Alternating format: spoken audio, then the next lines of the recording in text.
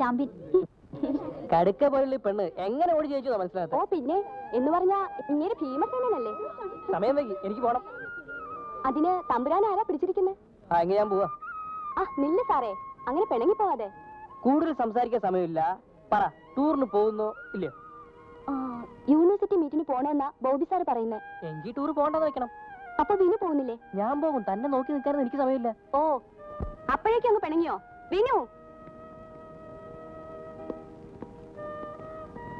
അത്രയ്ക്ക് വാശിയാണോ? എനിക്കും വാശിയാ. ആ. ആ. സാരയില്ലെന്നേ ഒരു ദിവസം മിണ്ടാതിരുന്നാൽ പൂച്ചയെ പൊലിഞ്ഞു വരും. ഈ കാലത്ത് ഹാപ്പി ബർത്ത്ഡേ കേക്ക് കൊടുത്താലും പേടിക്കണം. ബോംബാണെങ്കിലോ?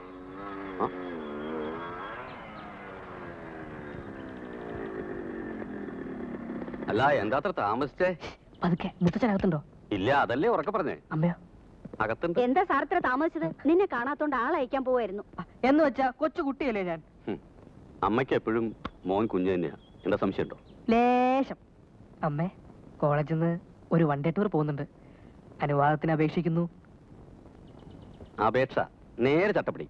അതങ്ങ് കളക്ടറേറ്റിൽ ഇവിടെ ഞങ്ങൾ നേരിട്ട് സംസാരിച്ചോളാം. ആഭ്യന്തര കാര്യങ്ങളിൽ കേന്ദ്രവും ഉപദേശകനും ഇടപെടേണ്ട. വേണ്ട എന്താ നീ പറഞ്ഞേ? ഇങ്ങനെയൊക്കെ പറയാൻ നിന്നെ പഠിപ്പിച്ചത് ആരാ? ഉന്നത വിദ്യാഭ്യാസം. എന്റെ പുന്നോര മോനൊരു കാര്യം ചെയ്യ. മുത്തശ്ശൻ വരുമ്പോ നേരിട്ട് അങ്ങ് അവതരിപ്പിച്ച് പെർമിഷൻ വാങ്ങിച്ചോ. അതാ നല്ലത്. എന്ന് വെച്ചാ പ്രശ്നം ഹൈക്കമാൻഡിന് റെഫർ ചെയ്തു എന്നർത്ഥം. അമ്മ അമ്മ എന്താ പ്ലീസ് അമ്മേ.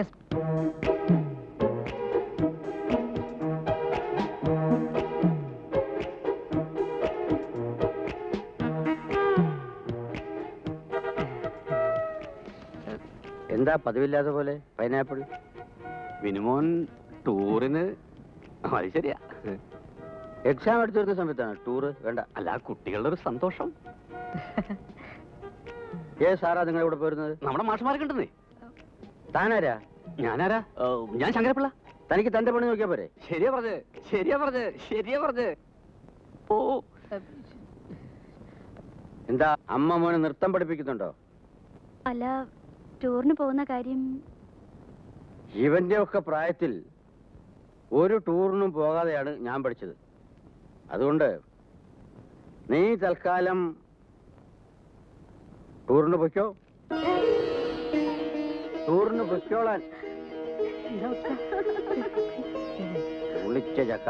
തീരങ്ങൾ താമരവൃക്ഷം കൊണ്ടിരുണ്ടതും ജലം തിമിംഗലങ്ങൾ ഇളകി മറിയുന്നതുകൊണ്ട് ക്ഷുബ്ധവുമായ നാല് സമുദ്രം വരെയുള്ള നൂറുകണക്കിന് രാജാക്കന്മാർ ചന്ദ്രഗുപ്ത മൗര്യന്റെ മുന്നിൽ തലകുനിക്കുന്നു. ഇപ്പോൾ പറഞ്ഞു വരുന്നത് രാജാവ് ഇവർക്ക് പിണക്കമുണ്ടാവാൻ കാരണമെന്താണ്? പിണക്കത്തിന്റെ കാരണം അറിഞ്ഞിരുന്നിട്ടും തക്ക സമയത്ത് അത് പരിഹരിക്കാൻ അങ്ങ് ശ്രമിക്കാതിരുന്നത് എന്താണ് ഷോണോത്തര ഭദ്രപടാദികൾ എഴുതിയ കത്ത് തരാൻ ഗുമസ്തൻ അചലിനോട് ചെന്ന് പറയൂ. പരിഭ്രമം. ആചാര്യൻ സത്യമായും കോപിച്ചിരിക്കുന്നുവല്ലോ. ആര്യ ഇതാ കത്ത്. കുശല കത്ത് കൊടുത്തുവല്ലേ? എഴുന്നേൽക്കൂ.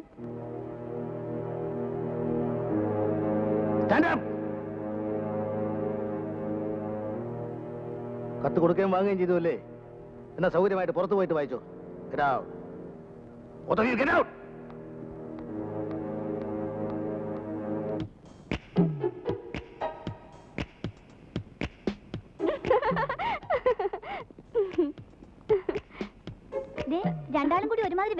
കാണിക്കരുത് കേട്ടോ.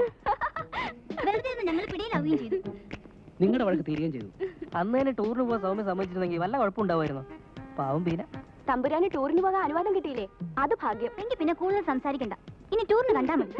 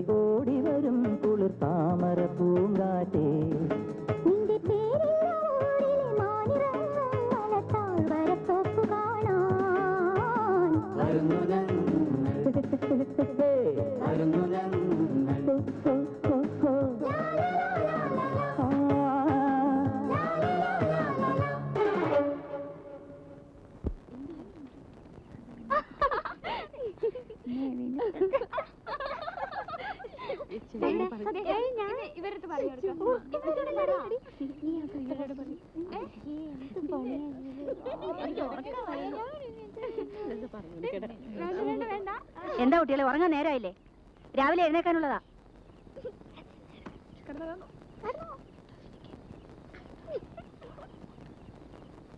ടീച്ചർക്ക് ഒരു ഫോണുണ്ട്. ആ.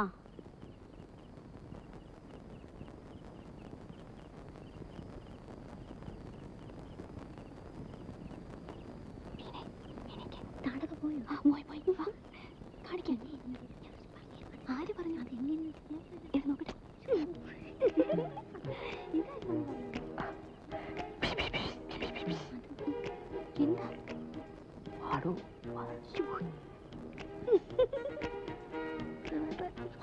ഒന്ന് ഇവിടുന്ന് വീണു പോ.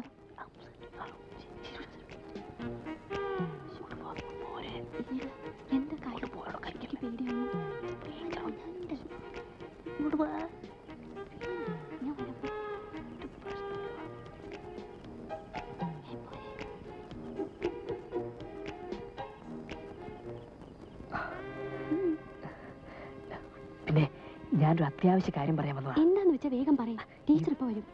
ഇവിടെ വെച്ച് പറയാൻ പറ്റില്ല. പിന്നെ? എല്ലാവരും ഉറങ്ങി കഴിയുമ്പോ ഒന്ന് പുറത്തു വരണം. അയ്യടാ വേണ്ട. കാര്യങ്ങളൊക്കെ നാളെ പറഞ്ഞാ മതി. നാളെ ആവുമ്പോ ഞാൻ ചിലപ്പോ മറന്നുപോയല്ലോ ടീച്ചർ ഇപ്പൊ വരും. ഞാൻ പോട്ടെ. ടീച്ചർ ഉറങ്ങിയ ഉടൻ വരണം. ഞാൻ പുറത്ത് കാത്തു വെക്കും ഓക്കെ? നല്ല വരണം. ശു പോ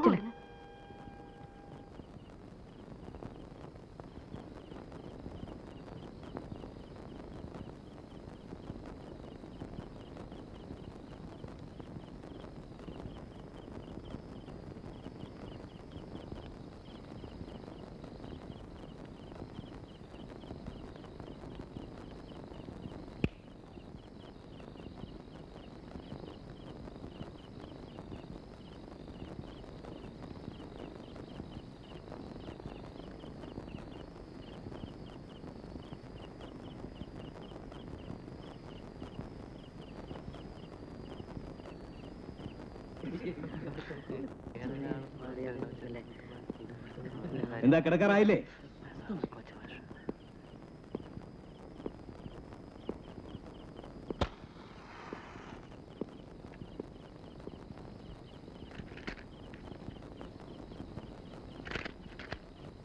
കിടക്കണോ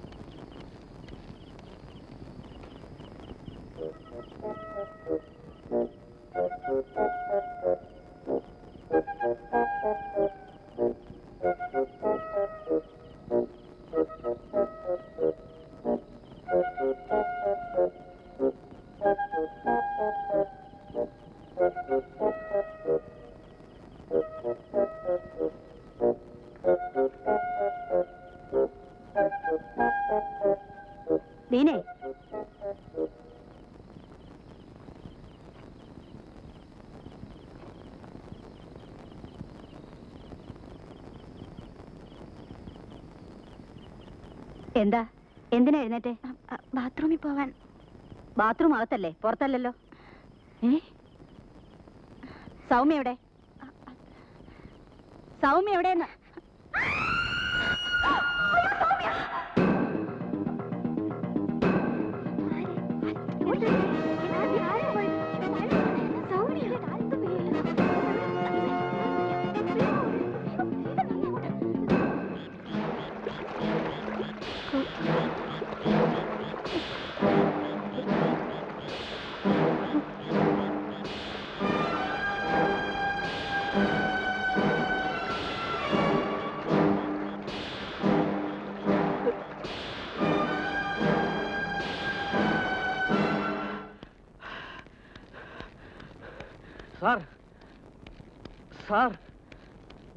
സാർ.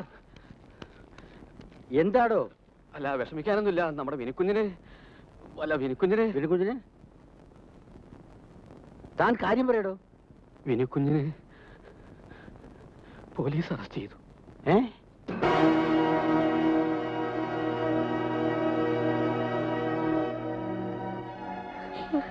മോനെ അമ്മ ഞാൻ സാർ എന്റെ മോനെ ദയവായി ഉപദ്രവിക്കരുത്.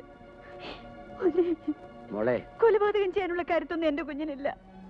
ധൈര്യമായിരിക്കും. വിഷമിക്കണ്ട മോനെ. ജാമ്യത്തിൽ ഇറക്കാനുള്ള ഏർപ്പാട് ചെയ്യാം. മോനെ.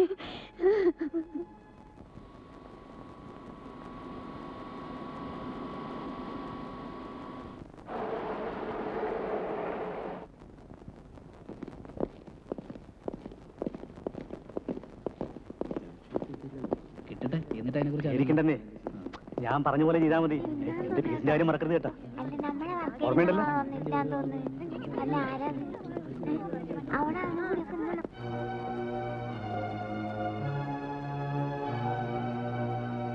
അങ്ങനെ പ്രതിയായ വിനോദ് കുമാർ തന്റെ സഹപാഠിയും സാധു കുടുംബത്തിൽ ജനിച്ചു വളർന്നവളുമായ സൗമ്യ എന്ന പെൺകുട്ടിയെ മധുര വാഗ്ദാനങ്ങൾ നൽകി പ്രേമത്തിന്റെ വലവീശി പിടിച്ച് വിവാഹം ചെയ്തു കൊള്ളാമെന്ന് വ്യാമോഹിപ്പിച്ച് നശിപ്പിച്ചതിന് ശേഷം തന്നിൽ നിന്നും ഒഴിവാക്കണമെന്ന ദുരുദ്ദേശത്തോടുകൂടി ഇവർ ഓണർ പിക്നിക്കിന് പോയ സാഹചര്യം മുതലാക്കി പ്രേമസല്ലാപത്തിനെന്ന് പറഞ്ഞ് പാറക്കെട്ടിനരികിലേക്ക് അവളെ വിളിച്ചുകൊണ്ടുപോയി. അലറി വിളിച്ചാലും ആരും കേൾക്കില്ലെന്നും നീന്തി തുടിച്ചാലും രക്ഷപ്പെടില്ലെന്നും ഉറപ്പുവരുത്തി ആഴക്കയത്തിലേക്ക് തള്ളിയിട്ട് കൊല ചെയ്തുവെന്ന് തെളിവുകളും സാക്ഷിമൊഴികളും വഴി നിസ്സംശയമായി തെളിയിക്കപ്പെട്ടിരിക്കുന്ന ഈ സാഹചര്യത്തിൽ ഇവർ ഓണർ ഹീനവും പൈശാചികവുമായ പ്രസ്തുത കൊലപാതകം ചെയ്ത പ്രതിയായ വിനോദ് കുമാറിന് ഐ പി സി മുന്നൂറ്റി എഴുപത്തിയാറ് മുന്നൂറ്റി രണ്ട് വകുപ്പുകൾ പ്രകാരം അർഹിക്കുന്ന പരമാവധി ശിക്ഷ നൽകണമെന്ന് വിനീതമായി അപേക്ഷിക്കുന്നു. ആദ്യം സമൻസ് സർവ് ചെയ്യട്ടെ. Sir sir. യെസ് ജഡ്ജ് കാണണമെന്ന് പറഞ്ഞു. ആ രാമദാസൻ കേസിന്റെ കോംപ്രമൈസിനെ കുറിച്ച് എന്താ സംസാരിക്കാൻ വേണ്ടിയാണ്? ഉണ്ണി തമ്പയ്ക്കോ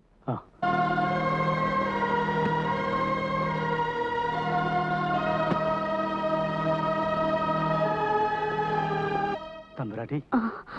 ഉണ്ണിത്താനോ? തമ്പുരാൻ. അച്ഛന് ശങ്കരപ്പിള്ളി അഡ്വക്കേറ്റിന്റെ ഓഫീസിലേക്ക് പോയി. ഒരു കാര്യം പറഞ്ഞാൽ വിഷമം തോന്നരുത്. വർഷം കുറെ ആയില്ലേ ഈ കേസും കൂടെ പോയിട്ട് നടക്കുന്നു. ആ അനുഭവത്തിൽ നിന്ന് പറയാ കേസ് രീതി പോയാൽ വിനുമോന് ശിക്ഷ കിട്ടും. രണ്ടും നാല് സാക്ഷിമൊഴികൾ വളരെ ദോഷമാ ഇഷ്ടപ്പെടില്ലെന്നറിയാം. എങ്കിലും പറയാ വർമ്മ സാറിനോട് ഈ കേസൊന്ന് ഏറ്റെടുക്കാൻ പറഞ്ഞൂടെ. പഴയ വാശിയും വൈരാഗ്യവും ഇനി വേണോ? വിനുമോന്റെ രക്ഷക്കെങ്കിലും അല്ല കാര്യങ്ങളൊക്കെ ഞാൻ അമ്മാച്ചനോട് പറഞ്ഞിട്ടുണ്ട്. ഞാൻ പോകുന്നു അമരാട്ടി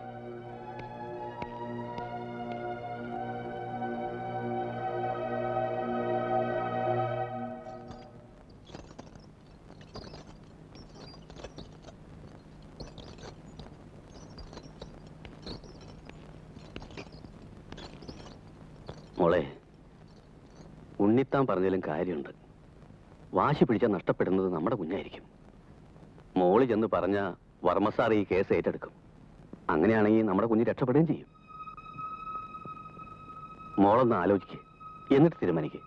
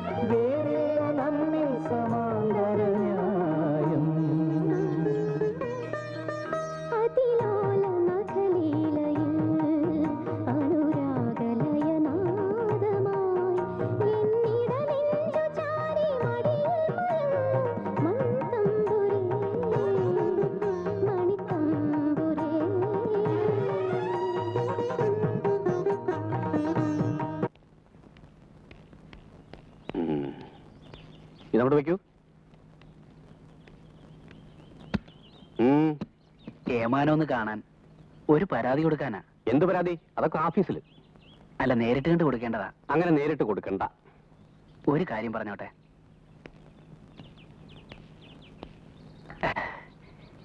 സാറിനുള്ളതും കൂടി.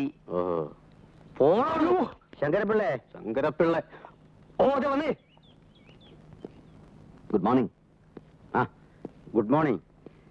ഇന്ന് ഏത് കേസ് പറഞ്ഞാൽ താൻ കോടതി ഉറപ്പിക്കാൻ പോകുന്നത്? ആ പുതുപ്പള്ളി കൊലക്കേസിന്റെ വാദം ഇന്ന് തുടങ്ങാണ്. എങ്ങനെ? ജയിക്കോ എവിഡൻസ് അല്പം സ്ട്രോങ് ആണ്. എന്നാലും ജയിച്ചേ പറ്റൂ. അമ്മാവൻ അനുഗ്രഹിക്കണം. Wish you all the best വസുന്ധരയുടെ ഒരുക്കം കഴിഞ്ഞിട്ടില്ല എന്ന് തോന്നുന്നു. എനിക്ക് പോകാൻ സമയമായി. ആ നീ പോകുന്ന വഴിക്ക് അവളെ കോളേജിൽ ഇറക്കിയാൽ മതി. ആ. വരട്ടെ. ഓ.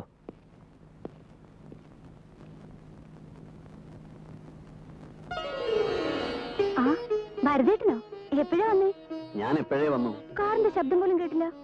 ഈ കണ്ണാടിയുടെ മുമ്പിൽ നിന്നാ ലോകത്ത് ഒരു പെണ്ണിനും പരിസരബോധം ഉണ്ടാവില്ല. അതുകൊണ്ടാ. സ്വന്തം സൗന്ദര്യത്തിൽ കുറച്ചെങ്കിലും ശ്രദ്ധിച്ചില്ലെങ്കിൽ പ്രസിദ്ധനായ ഭാവി വരന് കുറച്ചിലാണ്ടെന്ന് കരുതിയ. മതി മതി. വേഗം ഇറങ്ങാൻ നോക്ക്. കാത്തിരുന്ന് മുഷിഞ്ഞപ്പോ എന്നെ ഏൽപ്പിച്ചിട്ട് അമ്മാവൻ അങ്ങ് പോയി. ഇനിയും താമസിച്ചാ ഞാനും പോകും ചൂടാവാതിന്റെ വക്കീൽ സാറേ. വാ വാ.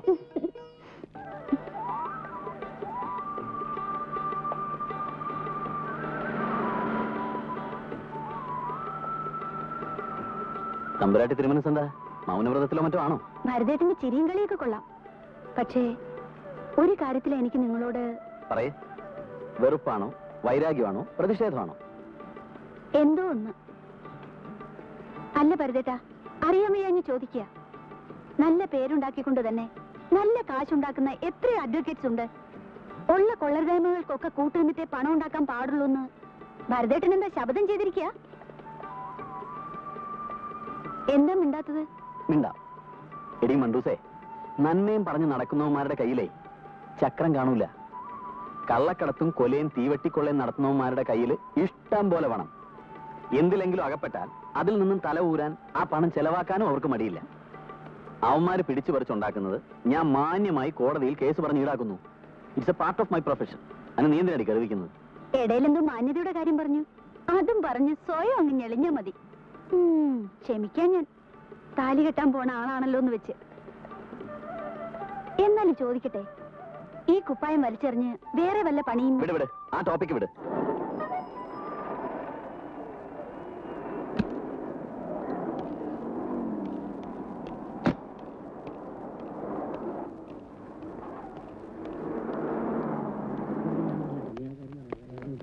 ഫിസിക്സ് ക്ലാസ് ഭയങ്കര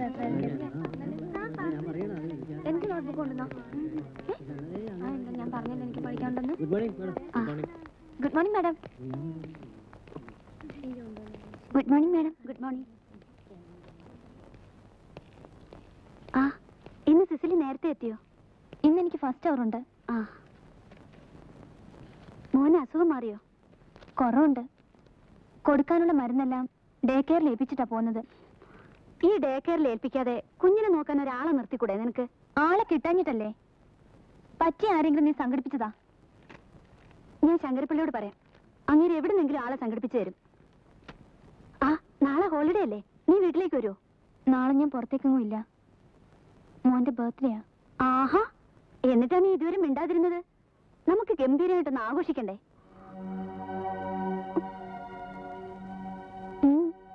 എന്തേ? ആഘോഷിക്കാൻ പറ്റാത്ത ഒരു ജന്മദിനമാ അവന്റേത്. മോന്റെ രണ്ടാമത്തെ ബർത്ത്ഡേക്കാ അവന്റെ പപ്പ മരിച്ചത്. ബർത്ത്ഡേ കേക്കുമായി ബൈക്ക് വരുന്ന വഴി. ഐ എം സോറി ഞാനത് ഓർത്തില്ല.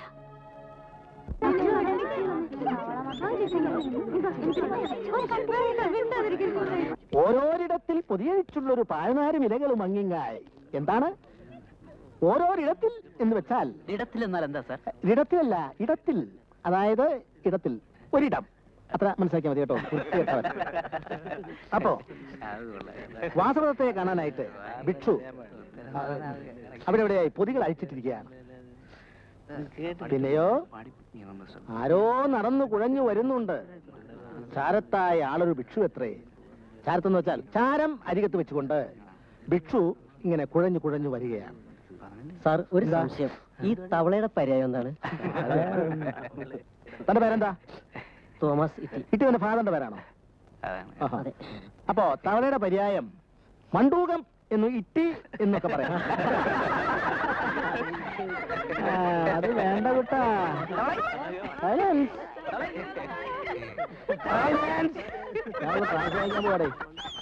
എന്റെ ക്ലാസ്സിൽ ഒറ്റ കുട്ടി പോലും ശബ്ദം ഉണ്ടാക്കാറില്ല. അതിന് മത്തായി സാറിന്റെ ക്ലാസ്സിൽ ആരെങ്കിലും ഇരുന്നിട്ട് വേണം. ഏ? എന്നോട് തർക്കത്തിനും പറയാൻ തിരക്കുന്നാക്കുണ്ടല്ലോ കുട്ടികളെ വലിയ പേടിയല്ലേ? പേടിച്ചിട്ടല്ല സാറേ. ഞാൻ കുട്ടികളോട് വളരെ സ്നേഹത്തോടെ പെരുമാറുന്നത്. അവിടെ ചില കുസൃത്തനങ്ങളൊക്കെ ഞാൻ കടൽ നോക്കാറുണ്ട് ആ അതുകൊണ്ട് ആ കുട്ടികൾക്ക് സാറിനോട് ഒരു ബഹുമാനം ഇല്ലാത്തത്.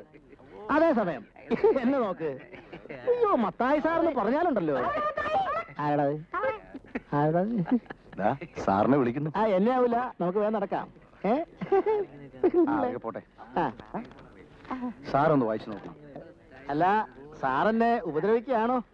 അതെന്താ അങ്ങനെ പറഞ്ഞത്? അതല്ല സാറിന്റെ കവിത വൈരാഗ്യമുള്ള ആർക്കെങ്കിലും കൊടുത്താ പോരെ. അത്രയ്ക്ക് കളിയാക്കണ്ട. അത്രയ്ക്ക് മോശമൊന്നും ആവില്ല അതെ വായിച്ചു നോക്കണം. അല്ല ഒരു കാര്യം ചെയ്യേ. വസന്ത ടീച്ചർക്ക് എന്നെ കൊടുക്ക്. അല്ല. അതാണല്ലോ പതിവ്. ഏ? ടീച്ചറുടെ നല്ല അഭിപ്രായം കേട്ടാൽ സാറിന് സംസ്ഥാന അവാർഡ് കിട്ടിയതിന് തുല്യമായിട്ടുള്ള സന്തോഷമാണല്ലോ ഉണ്ടാവുക. അപ്പോഴേ എല്ലാം മനസ്സിലാവുന്നുണ്ട് കേട്ടോ. എന്താണ് വൈകിട്ട് കാണാം കേട്ടോ.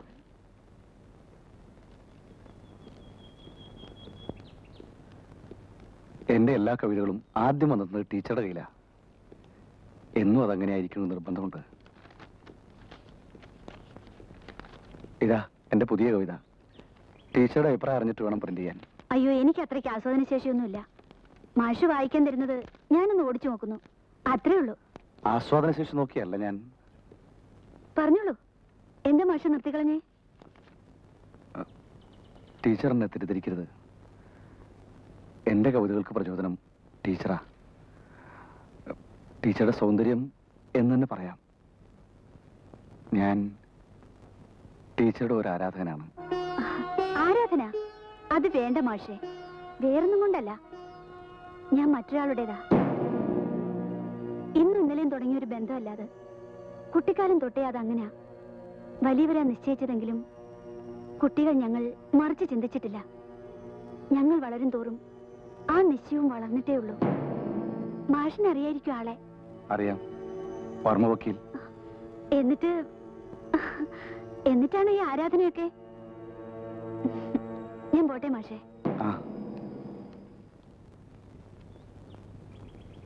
അടുത്ത ആഴ്ച എനിക്ക് അവിടെ ഒരു വിസിറ്റ് ഉണ്ട് അപ്പോൾ ഇതേപ്പറ്റി അന്വേഷിക്കാം. എന്നിട്ട് വേണ്ട ചെയ്യാം. ഇപ്പൊ ശരി. പൊയ്ക്കോളൂ.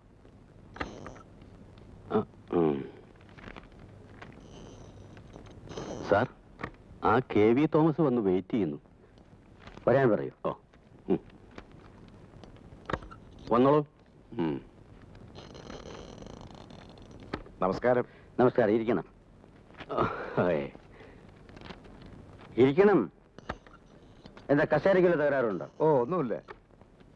പിന്നെ എന്താ വിശേഷിച്ച്? ഒന്നുമില്ല. ഒരു ചെറിയ കൂപ്പ് ലേലത്തിൽ പിടിച്ചിട്ടുണ്ടായിരുന്നു. അത് വെട്ടാനുള്ള അനുവാദം ഫയൽ മേശപ്പുറത്തുണ്ട്. ഓർഡർ ആക്കാൻ വേണ്ട ഏർപ്പാട് ചെയ്യാം. വേറെ എന്തുണ്ട്? ഈ ഇടവപ്പാതിക്ക് മഴ തുടങ്ങുന്നതിന് മുമ്പ് പറഞ്ഞല്ലോ. ഞാനിപ്പോ ആ. ഓ,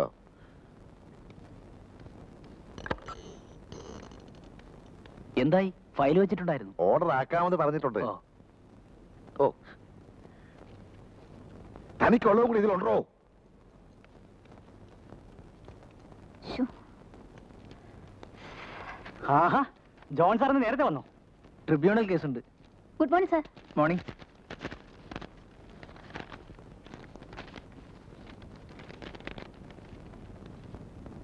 Typist S C അറുപത്തിമൂന്നിന്റെ കക്ഷിക്കുള്ള നോട്ടീസ് ടൈപ്പ് ചെയ്തു. കുറച്ച് താമസമുണ്ട്. അങ്ങനെ താമസിക്കാൻ പാടില്ല ഉടനെ വേണം. ഇനിയും താമസിച്ചാൽ മേൽ നടപടി എടുക്കേണ്ടി വരും. ഓ പിന്നെ? എന്താ തന്നെ ഒരു ഉടക്ക് ഒന്നുമില്ലെങ്കിൽ നിങ്ങളുടെ സ്വന്തം ഭാര്യയല്ലേ? അങ്ങനെ അങ്ങോട്ട് ചോദിക്കും സാറേ. അതെ ഭാര്യയും ഭർത്താവും വീട്ടിൽ. ഇവിടെ ഞാൻ ഗുമസ്തൻ നീ വെറും ടൈപ്പിസ്റ്റ് കുടുംബവും തൊഴിലും നമ്മൾ കൂട്ടിക്കൊടക്കരുന്ന വർമ്മ സാറ് പ്രത്യേകം പറഞ്ഞിട്ടുള്ള ഇവിടെ ഞാൻ പറഞ്ഞു കേട്ടാ മതി കേട്ടാ. അയ്യടാ. വീട്ടിലേക്ക് വാ. എന്റെ കിട്ടും. ഓരോരോ ജോലി ഒന്ന് ചെയ്താൽ മതി. Good morning sir morning good morning sir Unnithan ഇന്നത്തെ പോസ്റ്റിംഗ്സിന്റെ ഫയൽസ് എല്ലാം എടുത്തിട്ട് വാ.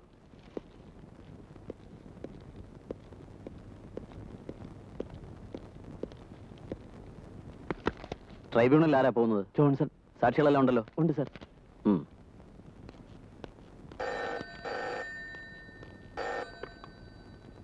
ഹലോ യെസ് സ്പീക്കിംഗ് ആ. അഞ്ചും ആറ് സാക്ഷികളല്ലേ ഇനി വിസ്തരിക്കാനുള്ളൂ? ആ കാര്യത്തിൽ പറയാനൊന്നുമില്ല ആ ആ ദാറ്റ്സ് ഗുഡ് ആ പിന്നെ നമ്മൾ പ്രതീക്ഷിച്ചതിലൊക്കെ ഒരുപാട് കോംപ്ലിക്കേഷൻസ് ഉള്ള കേസാ. എങ്ങനെയാണ് ഞാൻ ഇത്രയെങ്കിലുമൊക്കെ ഒപ്പിച്ചെടുത്തതെന്ന് you know better than me അല്ലേ? ആ ഞാൻ പറഞ്ഞു വന്നത്? നമ്മുടെ ആ പഴയ എമൗണ്ടിലൊന്നും കാര്യം ഒതുങ്ങില്ല. ഒരു ഫിഫ്റ്റി പെർസെന്റ് മോർ ഇതിപ്പോ പറഞ്ഞിട്ട് എന്താ കാര്യം? വല്ലവന്റെ കഴുത്ത് വെട്ടാൻ ചെല്ലും പോർക്കണമായിരുന്നു ഞാൻ പറയാനുള്ളത് പറഞ്ഞു. എനിക്ക് തന്നെ ഫോണിൽ കൂടെ കേസ് പഠിപ്പിക്കാനൊന്നും ഒക്കില്ല. ഒരു ഏഴ് കിലോമീറ്റർ അല്ലേ ഉള്ളൂ. സൗകര്യം ഉണ്ടെങ്കിൽ ഇങ്ങോട്ട് വാ. ഉണ്ണിത്താൻ. സാർ. ആ ചെട്ടിയാരെ വിളിച്ചിരുന്നു. ഞാൻ ഇവിടെ ഇല്ലാത്തപ്പോഴാണ് അയാൾ വരുന്നതെങ്കിൽ മുഴുവൻ പണവും വാങ്ങിയിട്ട് പോസ്റ്റിങ്ങിനെ കുറിച്ച് സംസാരിച്ചാൽ മതി. ഗുമസ്തനുണ്ടോ സാർ ഉം? അല്ല ആ സാക്ഷികൾ ഗുമസ്തനെ അന്വേഷിക്കുന്നു. ആ ചെല്ലു ചെല്ലു. എന്തൊരു ശല്യം ഇത്? ശ്ശെ, വിടന്നേ. എന്താ ഉണ്ണിത്താനത്? താമസിയാൻ ഞാനൊരു കേസ് പ്രതിയാണ് സാറേ. കൊലക്കേസിലാണോ? അല്ല ഡൈവേഴ്സ് കേസിൽ. കൊള്ളാം. ഉണ്ണിത്താനെ. സാർ ഇതാ വരുന്നു. ഓ.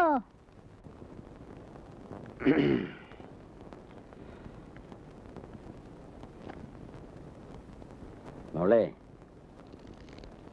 ഭരതൻ.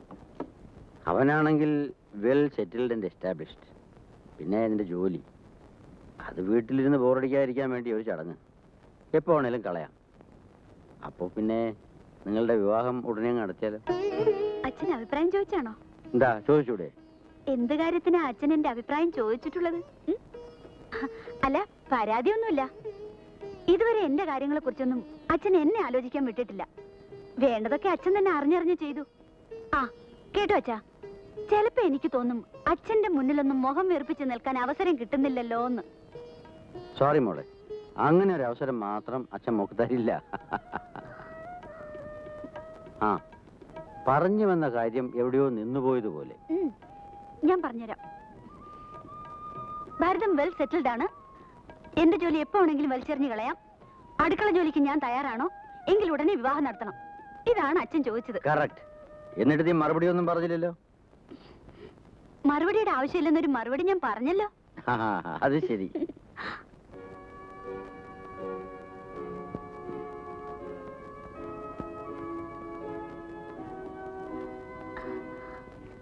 ഹാപ്പി ബർത്ത്ഡേ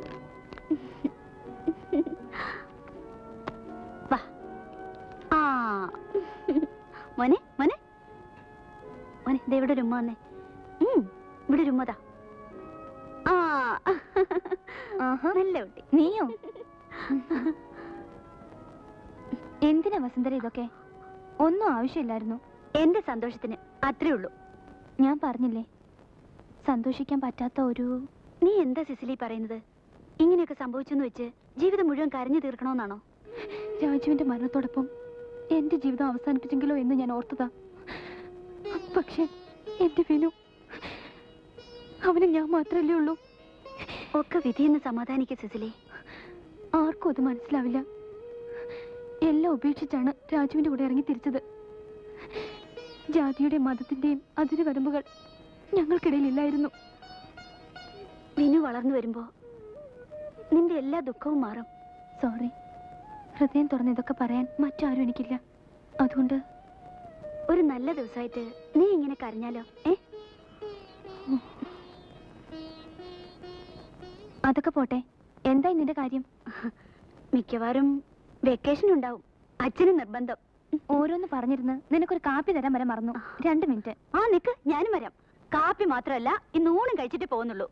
വിനുക്കുട്ടന്റെ ബർത്ത്ഡേ അല്ലേ?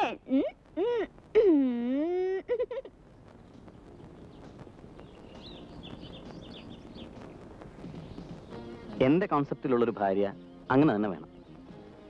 ഇഷ്ടപ്പെട്ട പുരുഷന് വേണ്ടി മതം മാറാനും വീട്ടുകാരെ ഉപേക്ഷിക്കാനും തയ്യാറാവുക. സിസിൽ ഒരു നല്ല പെണ്ണ. അവളുടെ ഭർത്താവ് അങ്ങനെയായിരുന്നു. കുടുംബത്തിനപ്പുറത്തേക്ക് ലോകം വെട്ടിപ്പിടിക്കാനുള്ള വ്യാമോഹമൊന്നും അങ്ങേർക്കില്ലായിരുന്നു. അത് നീ എന്നെ ഒന്ന് വാരിയതാണല്ലോ. സിസിലിയെ കുറിച്ച് ഓർത്തിട്ട് ഇന്നലെ ഉറങ്ങാനേ കഴിഞ്ഞില്ല. ഓർമ്മിക്കാൻ തുടങ്ങിയ ഒരുപാടുണ്ടാവും. കാലം മായ്ക്കാത്ത മുറികളില്ലെന്നല്ലേ പറയാറ്. നമുക്കിനി നമ്മുടെ കാര്യത്തെക്കുറിച്ച് സംസാരിക്കാം. എന്താ? പിന്നെ ഞാനൊരു കാര്യം പറയാൻ മറന്നു. രസകരമായ ഒരു സംഭവം. എന്റെ ഒരു കൊളീഗുണ്ട്. വേണുഗോപാൽ കവിയാ. എന്നെ കണ്ട അയാൾക്ക് അപ്പ കവിത എഴുതണം. എനിക്കും ആരാധകരൊക്കെ ഉണ്ട്. ഏതാവൻ? വെറുതെ നടുറോടി കിടന്ന് തല്ലുകൊള്ളണ്ടെന്ന് പറഞ്ഞത്. അപ്പോഴേക്കും അങ്ങ് ചൂടായോ? എനിക്ക് ഭരതേട്ടന്റെ ഈ സ്വഭാവം പിടിക്കാത്തത്. ഒരാൾ നാലുവരി കവിത എഴുതിയെന്ന് വെച്ച് വഴുതെന്നാണോ എന്റെ മനസ്സ്? ഭരതേട്ടൻ എന്നെ അങ്ങനെയാണോ കണക്കാക്കിയിരിക്കുന്നത്? അതുകൊണ്ടല്ല. വേറൊരാൾ നിന്നെ മോഹിക്കുന്നത് പോയിട്ട് നിന്നെ പറ്റി ചിന്തിക്കുന്നത് പോലും എനിക്ക് ഇഷ്ടമല്ല എനിക്കതറിയാം. എന്നേ ഞാൻ മനസ്സുകൊണ്ട് ഭരതേട്ടന്റെതായി കഴിഞ്ഞു. ഇനിയൊരു താലി. ആ കേസ് കഴിയട്ടെ ഈ കേസ് കഴിയട്ടെ എന്നൊക്കെ പറഞ്ഞ് ഇങ്ങനെ താമസിപ്പിക്കുന്നതിന് ഞാനാ ഉത്തരവാദി?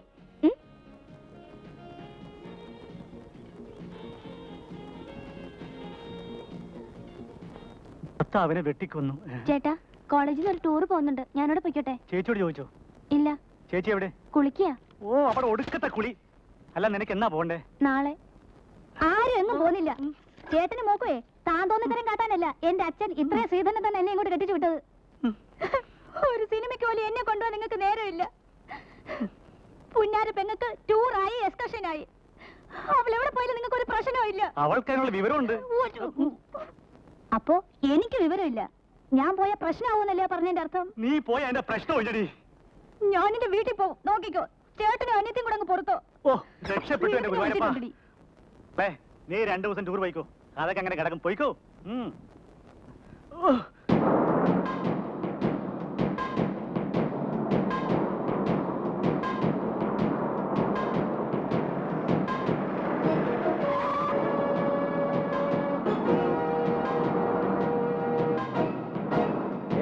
അറസ്റ്റ് ചെയ്തിരിക്കുന്നു. വണ്ടിയെല്ലാം സെൻട്രേക്ക് കൂടെ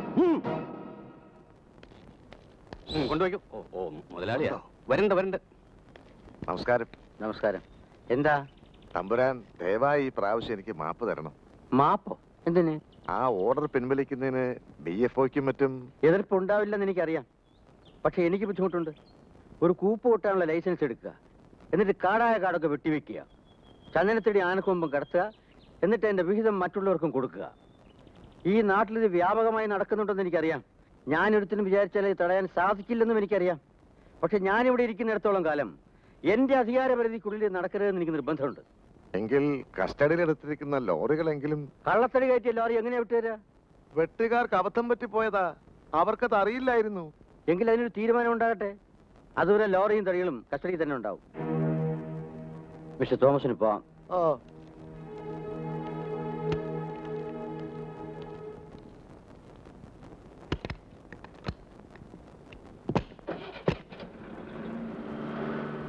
ഇതിപ്പോഴല്ല വളരെ നേരത്തെ ആലോചിക്കണമായിരുന്നു. അതൊക്കെ പറഞ്ഞിട്ട് എന്ത് കാര്യം? ഇനി നടക്കാൻ പോകുന്ന എന്താണെന്ന് നോക്കാം.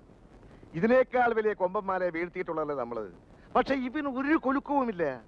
ഞാൻ ചെന്ന് കാലി പിടിക്കാത്ത കുറവേ ഉണ്ടായിരുന്നുള്ളൂ.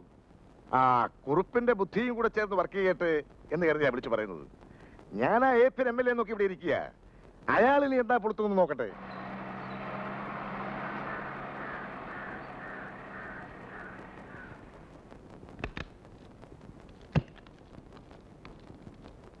ആ എഴുന്നള്ളിയോ. എടോ തന്നെയൊക്കെ ഈ എം എൽ എ വേഷവും കെട്ടിച്ച് അങ്ങ് തലസ്ഥാനത്തോട്ട് കെട്ടിയിടിപ്പിച്ച് വിടുന്നത് എന്തിനാണെന്നാ വിചാരം? അല്ല പറയേ. നാടിന്റെ ക്ഷേമല്ലേ? നാടിന്റെ ക്ഷേമം. ഒലക്കട മൂട്. കൊല്ലത്തിലെ മൂന്ന് തെരഞ്ഞെടുപ്പ് വരും ലക്ഷം കൂടെ കോടി കൂടെ എന്ന് പറഞ്ഞ് വരുമ്പോ അടുക്കി കെട്ടി ബ്രീഫ് കേസ് വെച്ചാ കൊടുക്കുന്നത്. നാടല്ലേ നാട്? മോടെ കല്യാണം മോന് ഫിലാഡൽഫിയായി പോയി പഠിച്ചാലേ പഠിപ്പ് വരത്തുള്ളൂ. ഒക്കത്തിനും വാരി വിതറുന്നത് തോമസിനെ പോലുള്ള മൂന്നോ നാലോ പേരുടെ പച്ച കറൻസിയാ. കറൻസി. താനേ ഞങ്ങളുടെ ക്ഷേമം അന്വേഷിച്ചാ മതി. നാട് താ തൊളിച്ചാലൊന്നും തൊളിയാൻ പോണില്ല. ആ ഉപവിഷ്ടനാവൂ. ഇരിക്കണോ? എടോ പത്ത് ലോറിയും തടിയും ഈ തോമസിന് പുല്ല. പക്ഷെ തിരിച്ചു കിട്ടണം. എന്നിട്ട് പെട്രോൾ ഒഴിച്ച് കത്തിച്ച് വെണ്ണീറാക്കിയാൽ എനിക്കൊരു ചുക്കം വരാൻ പോകുന്നില്ല. എന്റെ പ്രസിഡന്റ് പ്രശ്നമാണ് ആ കളക്ടർ കസേരയിൽ ഒരുത്തിന് ഇരിപ്പുണ്ടല്ലോ. താൻ എന്താ ഞൊട്ടുന്ന വെച്ചോ ഞൊട്ടിട്ട് ഞൊട്ടിയിട്ട് വാ. പോ മിണുങ്ങിക്കൊണ്ടിരിക്കുന്നു. എഴുതി പോടൂ.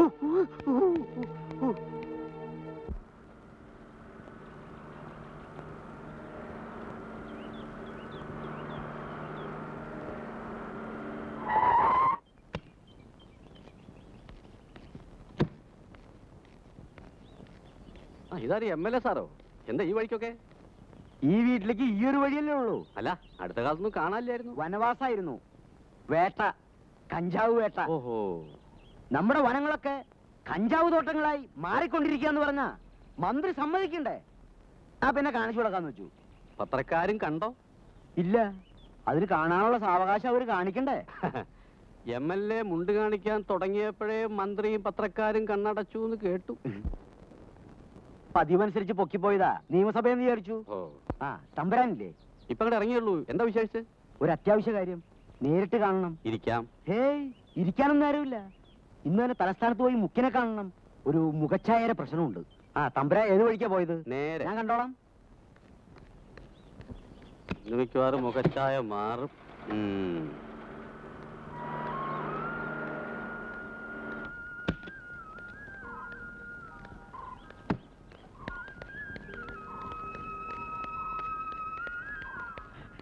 Good sir. ആഹാരത് എം എൽ എയോ? അസംബ്ലിയിലെ പ്രസംഗം കസറി. പത്രത്തിൽ വായിച്ചു ഞാൻ. അഴിമതിക്കെതിരായി ഇതുപോലൊരു ഉഗ്രൻ പ്രസംഗം ഈ അടുത്ത കാലത്തെങ്ങും ഉണ്ടായിട്ടില്ല. നിങ്ങളെപ്പോലൊരു പത്ത് പേരുണ്ടായെങ്കിലെന്ന് ആഗ്രഹിച്ചു പോവാണ് ഞാൻ. നമ്മുടെ നാട് നന്നാകും അഴിമതി പമ്പ പക്ഷേ ഈ പറയുന്നത് പോലെ ഇവിടെ ആരും പ്രവർത്തിക്കാറില്ലെന്നതാണല്ലോ ഈ നാടിന്റെ ഏറ്റവും വലിയ ശാപം. എം എൽ എ ഏതിനത്തിലാ ഞാൻ ഞാൻ ഞാൻ വരട്ടെ സാർ. അല്ല എന്തോ പറയാൻ വന്ന പോലെ തോന്നി. അത് ആ കെ വി തോമസിന്റെ കേസിൽ ഒരു വിട്ടുവീഴ്ചയ്ക്കും തയ്യാറാവരെന്ന് പറയാൻ വന്നതാ. ആഹാ. അത് നല്ല കാര്യം. എന്നാലും ഞാൻ വരട്ടെ.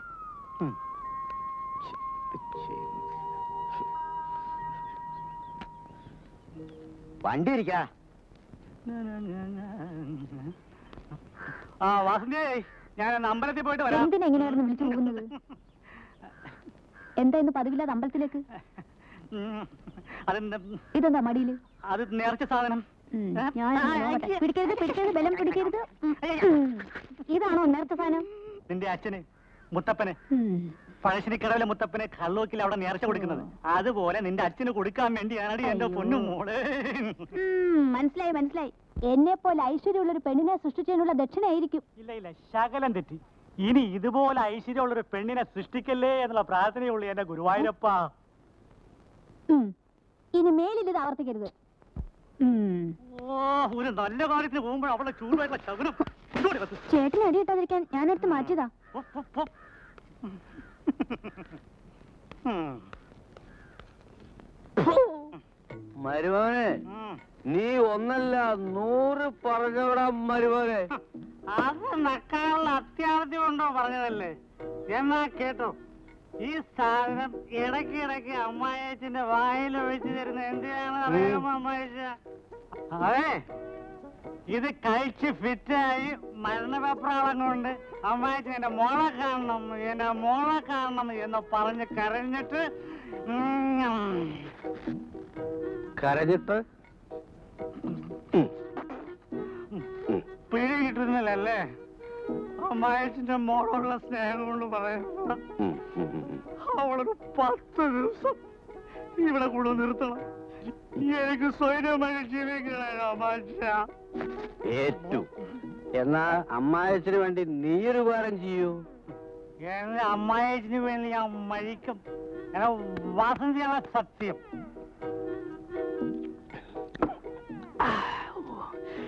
എന്നാൽ ഒരു കണ്ടീഷൻ നിന്റെ അമ്മായിമ്മ ഒരു പത്ത് ദിവസം അവിടെ കൊണ്ടു നിർത്തൂ. ഒരു പത്ത് ദിവസത്തേക്ക്. എനിക്കൊന്ന് വിലസനടാ മരുമോന്. ഈ വയസ്സുകാലത്തോ? ആ, വയസ്സോ? ആർക്കാ? ബാലനര. മാർക്കണ്ടേനെ കേട്ടിട്ടുണ്ടോ? എന്നും പതിനാറ് വയസ്സ്. മുരക്കണ്ടേടെന്ന് കേട്ടിട്ടുണ്ട്.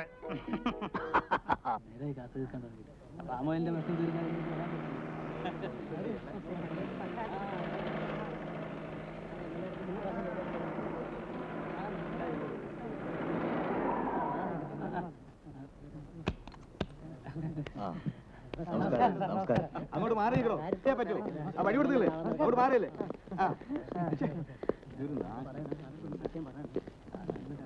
എല്ലാവരോടും നിൽക്കാൻ പറയും. എന്ന് വെച്ചാ ആരും അകത്തേക്ക് വരണ്ടാന്ന്. ആരും മുന്നോട്ട് കിടക്കണ്ട. ഇവിടെ നിന്നാ മതി. ഇരിക്കണം. താങ്ക് യു സാർ ഞാനൊരു പ്രധാനപ്പെട്ട കാര്യം നിങ്ങളുമായി ഡിസ്കസ് ചെയ്യാനാണ് വന്നത്. ഭരിക്കുന്നവരെ ഭരിക്കുന്ന ഒരു വർഗം ഈ നാട്ടിലുണ്ടെന്നുള്ളത് ഈ ഞാനോ നിങ്ങളോ നിശ്ചയിച്ചിട്ട് കാര്യമില്ല. പല ചരടുകളിലും തൂങ്ങിയേ ഏത് ഭരണകൂടത്തിനും അസ്തിത്വമുള്ളൂ. ഭരണയന്ത്രത്തിന്റെ ഒരു ഘടകം തന്നെയാണ് ജില്ലാ സംവിധാനവും. ചരടുകൾ എനിക്കും ബാധകമാണെന്ന് അങ്ങ് ഓർമ്മിപ്പിച്ചതിന് നന്ദി. പക്ഷേ മനസാക്ഷിയെ വഞ്ചിച്ചുകൊണ്ടുള്ള ഒരേർപ്പാടിനും കൂട്ടുനിന്ന് പരിചയമില്ല എനിക്ക്. കളക്ടർ ആദർശങ്ങളെ ബലീകരിക്കാൻ പറയാൻ മാത്രമുള്ള നീചത്തരമൊന്നും ഞാൻ കാട്ടില്ല. അല്ലാതെ തന്നെ പരിഹരിക്കാവുന്ന പ്രശ്നങ്ങളല്ലേ ഉള്ളൂ. ഒരു മാസത്തേക്ക് ഒരു അവധി. ഇലയ്ക്കും മുള്ളിനും കേടില്ലാതെ നമുക്ക് ഒരു ഒരു എനിക്കിപ്പോ അവധി ആവശ്യമില്ല സർ. എന്നാൽ അതിനും വഴിയുണ്ട്. എന്തെങ്കിലും ചെയ്തെന്ന മനസാക്ഷിക്കുത്തിന് പ്രശ്നം പോലും വരുന്നില്ല. നിങ്ങൾ ആവശ്യപ്പെടുന്ന ജില്ലയിലേക്ക് ഒരു സ്ഥലമാറ്റം തന്നേക്കാം. ഈ ഇഷ്യൂ ക്ലിയർ ആയി കഴിഞ്ഞാൽ വേണമെങ്കിൽ ഇങ്ങോട്ട് തന്നെ. പാവകളി. അല്ലേ സാർ? സ്ഥലം മാറ്റം സ്വീകരിച്ചു കൊള്ളണമെന്ന് നിർബന്ധമില്ലല്ലോ. ചില നിയമങ്ങളും കോടതിയുമൊക്കെ ഇല്ലേ നാട്ടിൽ? അപ്പോ നിങ്ങൾ ഉടക്കാൻ തന്നെയാണോ ഭാവം? അതങ്ങ് ചെയ്തു കൊടുക്കുന്ന നിങ്ങൾക്ക് എന്താ ഇത്ര നോവ്? ഇരുന്നൂറ് ഏക്കർ സ്വന്തം ഭൂമി. കുടിയാന്മാർക്ക് സ്വന്തം കൈപ്പടയിൽ പട്ടയം എഴുതി കൊടുത്ത പഴയ തഹസീൽദാരാണ് സാർ ഞാൻ. അന്ന് എനിക്ക് നൊന്തില്ല. പക്ഷെ ഇന്ന് സോറി സാർ. എന്നെ പോകാൻ അനുവദിക്കണം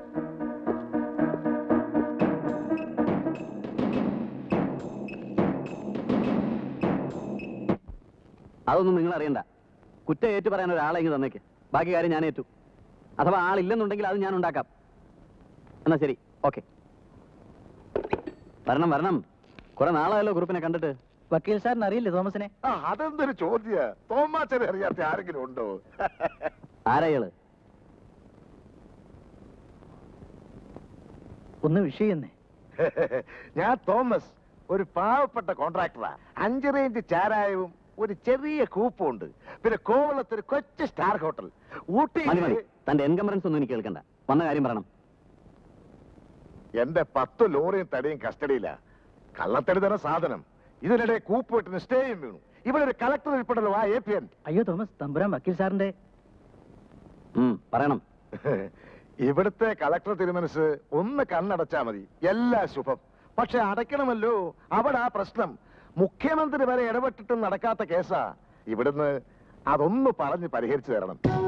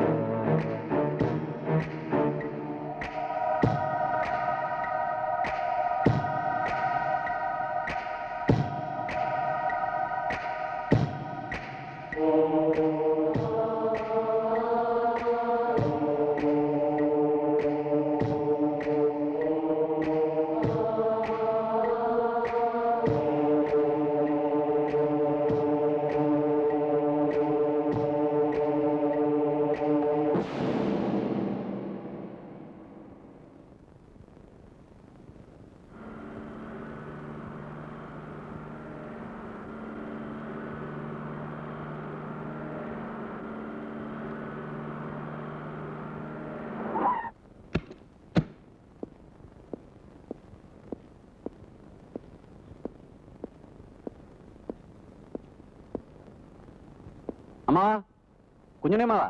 ഓ. ഒരു ഗ്ലാസ് രണ്ട് സോഡയും.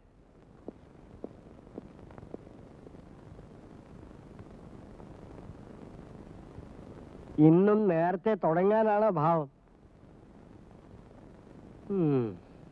ശരി.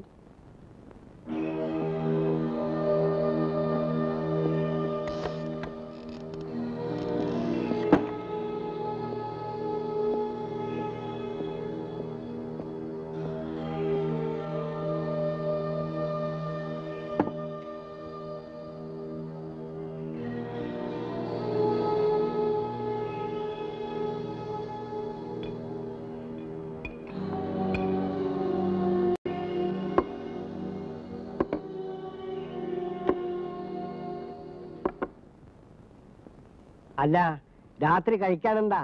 എനിക്കിന്നൊന്നും വേണ്ട. ഇങ്ങനെ പട്ടിണി കിടക്കാൻ വേണ്ടി ഇവിടെ പോ. ഞാനങ്ങ് പോയേക്കാം.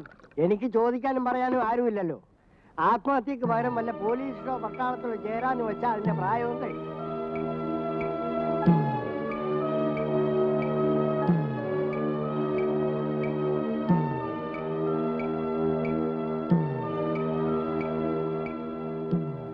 മുഖ്യമന്ത്രി എന്നല്ല പ്രധാനമന്ത്രി എന്ന് പറഞ്ഞാൽ പോലും എന്റെ മനസാക്ഷിക്കെതിരെ ഞാൻ പ്രവർത്തിക്കില്ല.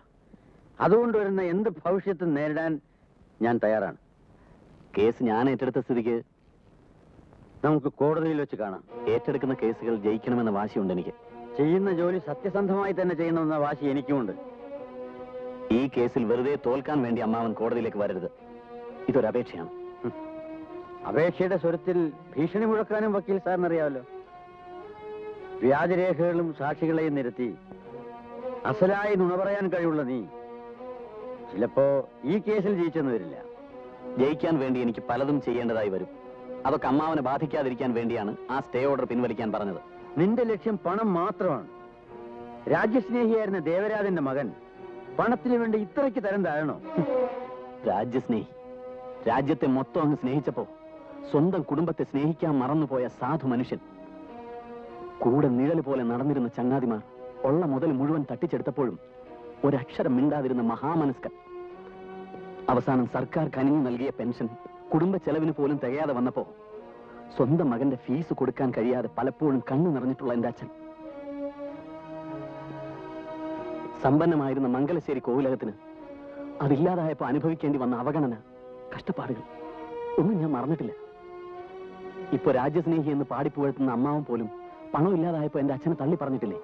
കാര്യപ്രാപ്തി ഇല്ലാത്തവനെന്ന് പിടിപ്പ് ദോഷമുള്ളവനെന്നൊക്കെ? ഞാൻ അമ്മാവനെ കുറ്റപ്പെടുത്തിയതല്ല. പണത്തിന്റെ ശക്തി എന്താണെന്ന് അനുഭവങ്ങളാണ് എന്നെ പഠിപ്പിച്ചത്. അതുകൊണ്ട് തരം താഴാതെ തന്നെ ഞാൻ പണം ഉണ്ടാക്കും. പഠിച്ച തൊഴിൽ മാന്യമായി ചെയ്തുകൊണ്ട്. അതെ. പഠിച്ച തൊഴിൽ മാന്യമായി ചെയ്തുകൊണ്ട്. പക്ഷേ നിനക്കത് പലപ്പോഴും നഷ്ടപ്പെടുന്നു. ഒരു അഡ്വക്കേറ്റിന്റെ മാന്യത വർദ്ധിക്കുന്നത് അയാൾ വാദിക്കുന്ന കേസിന്റെ വിജയത്തിലാണ്. ആ മാന്യത എനിക്കിന്ന് വേണ്ടുവോളുണ്ട് ദേവി അത് അമ്മാവൻ ഇതിനൊന്നും ഒരു വിലങ്ങ് തടിയാവരുത്. തോൽക്കാതിരിക്കാൻ നീ ശ്രമിക്കേ. ജയിക്കാൻ ഞാനും. ബന്ധങ്ങൾക്ക് ഇവിടെ സ്ഥാനമില്ല. ഓഹോ. അമ്മാവൻ മൂലം ഈ കേസിൽ എനിക്ക് എന്തെങ്കിലും പരാജയം സംഭവിച്ചാൽ ചില ബന്ധങ്ങൾക്ക് ഇവിടെ ഫുൾ സ്റ്റോപ്പ് ഇടേണ്ടി വരും. മനസ്സിലായില്ല? അമ്മാവന് മനസ്സിലായി. മനസ്സിലായില്ല എന്ന് നടിക്കുകയാണ്. ചില ബന്ധങ്ങൾ എന്ന് ഞാൻ പറഞ്ഞത് ചുവന്ന മഷി കൊണ്ട് അടിവരയിട്ടുള്ളൂ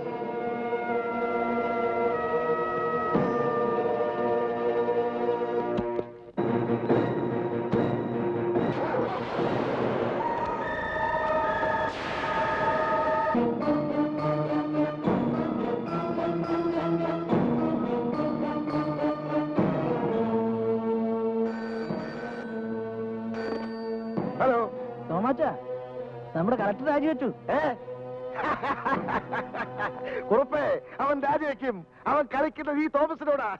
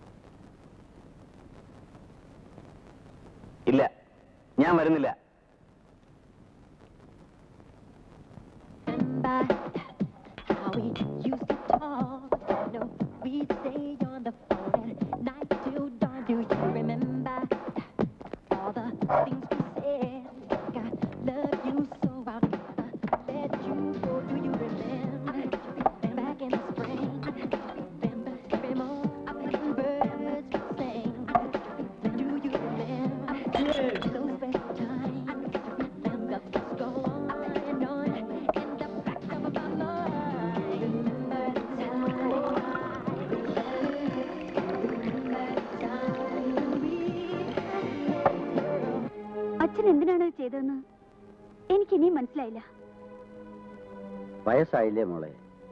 ഒരുപാട് ഉത്തരവാദിത്വങ്ങൾ ചുമരിൽ വെച്ചുകൊണ്ട് നടക്കാൻ ശേഷി പോരാ. ഒരു രാത്രി ഉണ്ടായിരിക്കും അച്ഛന് വയസ്സായതും ശേഷി കുറഞ്ഞതും. അതല്ല കുറെ നാളായി തോന്നി തുടങ്ങിയിട്ട്.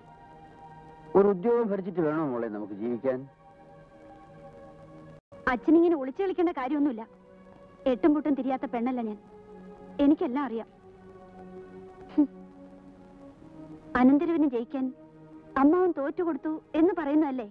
അതിന്റെ സത്യം ഇത് തോൽവിയല്ല മോളെ എന്റെ ജീവിതത്തിലെ ഏറ്റവും വലിയ വിജയം എല്ലാവരുടെയും നന്മയാണ് എന്റെ ലക്ഷ്യം ക്ഷമിക്കണോ അച്ഛ ഇതിനോട് യോജിക്കാൻ എനിക്ക് കഴിയില്ല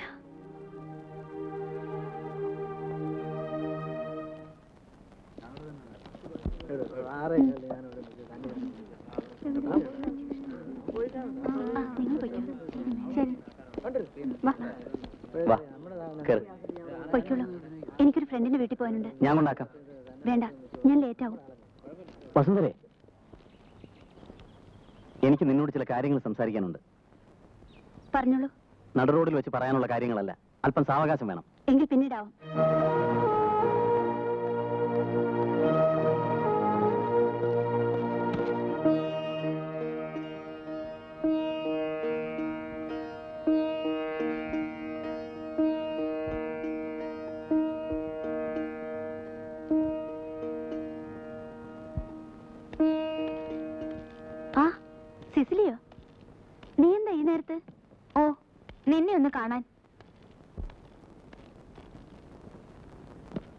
മോനെ വിളിക്കാൻ പോകുന്ന വഴി നിന്നെ ഒന്ന് കണ്ടിട്ട് പോവാന്ന് കരുതി.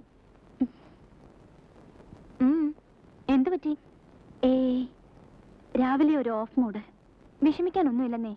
ഒക്കെ ശരിയാവും. നിന്റെ വിഷമം എന്തെന്ന് എനിക്ക് ഊഹിക്കാവുന്നതേ ഉള്ളൂ. സ്നേഹിച്ച പുരുഷനും പോറ്റി വളർത്തിയ മാതാപിതാക്കൾക്കും ഇടയിൽ തീ തിന്നവളാ ഞാൻ. അത്രയ്ക്കൊന്നുമില്ലല്ലോ നിന്റെ വിഷമം. ശരിയാ. പക്ഷെ അച്ഛൻ എനിക്കെല്ലാമാണ് സിസിലെ. അച്ഛന്റെ ഒരു വേദനയും എനിക്ക് സഹിക്കാനാവില്ല. വർമ്മ സാറ് ആരുമല്ലെന്നാണോ? എന്നല്ല. എനിക്കൊന്നും അറിയില്ല. വർമ്മ സാറിന്റെ മനസ്സ് മുഴുവൻ നീയല്ലേ? എനിക്കങ്ങനെ തോന്നിയിട്ടുള്ളൂ. സ്നേഹം. ഒരുതരം പൊസസീവ്നെസ് വേണ്ട. അതും ഇതും ചിന്തിച്ച് കൂടുതൽ മൂഡ് ഓഫ് ആണ്ട റെഡിയാവ് നമുക്കൊന്ന് പുറത്തു പോകാം. ഒരു ചെറിയ ഷോപ്പിംഗ് പിന്നെ ഡേ കെയറിൽ നിന്ന് മോനെയും കൂട്ടി വീട് വരെ. എന്നൊക്കെ വാ. ശരി ഞാൻ വരാം. മോനെ ഒന്ന് കാണാലോ? അവന്റെ കുസൃതി കണ്ടോണ്ടിരുന്ന സമയം പോണത് അറിയില്ല. കോവിലകത്ത് ഒരു തമ്പ്രാൻകുട്ടി വേണ്ടടോ? ഒരു കുസൃതി. വേഗം അതിനുള്ള വഴി നോക്ക്. ഇതാ വരുന്നു. അഞ്ചു മിനിറ്റ്.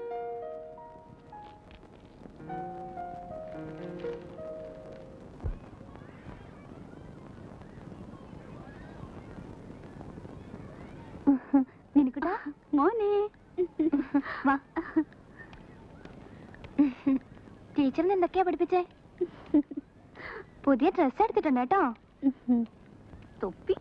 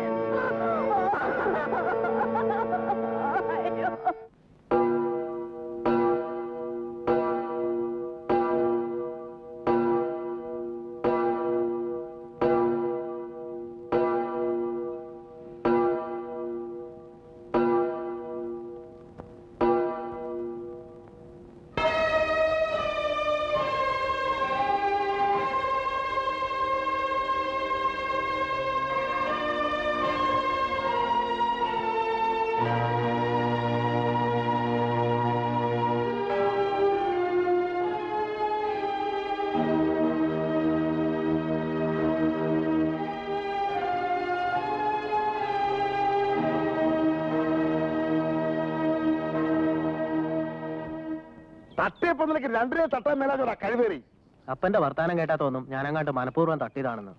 എടാ കള്ളു കുടിക്കുന്ന നിന്റെ അമ്മേനെ നെഞ്ചത്ത് വണ്ടി കയറ്റാനല്ല. മൂക്കറ്റം പട്ടയടിച്ച് വണ്ടതെറിയെ കള്ളത്തലേ കയറ്റി ചുര ഇറങ്ങി വന്നിട്ടുള്ളവരായി ഞാൻ.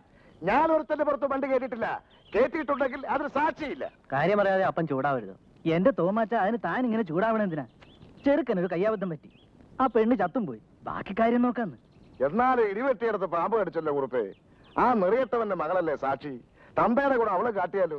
ഈ തന്തയില്ലാത്തവരെ അവളെ കാണുകയും ചെയ്തു ഒക്കെ വഴിയുണ്ടെന്ന്. ഇതിനും വലിയ കേസ് നമ്മൾ പുഷ്പം പോലെ ഉരിയിട്ടില്ലേ ആ വഴി ഇപ്പോഴും അറിഞ്ഞിട്ടില്ല. കുറുപ്പച്ചൻ പറഞ്ഞത് ഭരതമക്കയുടെ കാര്യമല്ലേ? അതെ. അന്ന് നമ്മൾ പാർട്ടിക്ക് വിളിച്ചിട്ടാൽ വന്നില്ലല്ലോ? അയാൾക്ക് കള്ളും പെണ്ണും നീക്കില്ല. പൈസ കൊടുത്താൽ മതി. കുറുപ്പച്ചൻ പറഞ്ഞതാ കാര്യം. കുറെ പണം കൊടുത്താൽ അയാൾ ഇനിയും കൊത്തും. അതിന് നിന്റെ അമ്മാച്ചന്റെ പറയാനോടാ ഞാൻ കഷ്ടപ്പെട്ടുണ്ടാക്കിയതെല്ലാം മുടിപ്പിക്കാൻ ഏത് ദൈവം തമ്പുരാനാണ് ഇവനെ സൃഷ്ടിച്ചത് എന്റെ കർത്താവേ? ക്ഷമിക്കെന്റെ തോമാച്ച.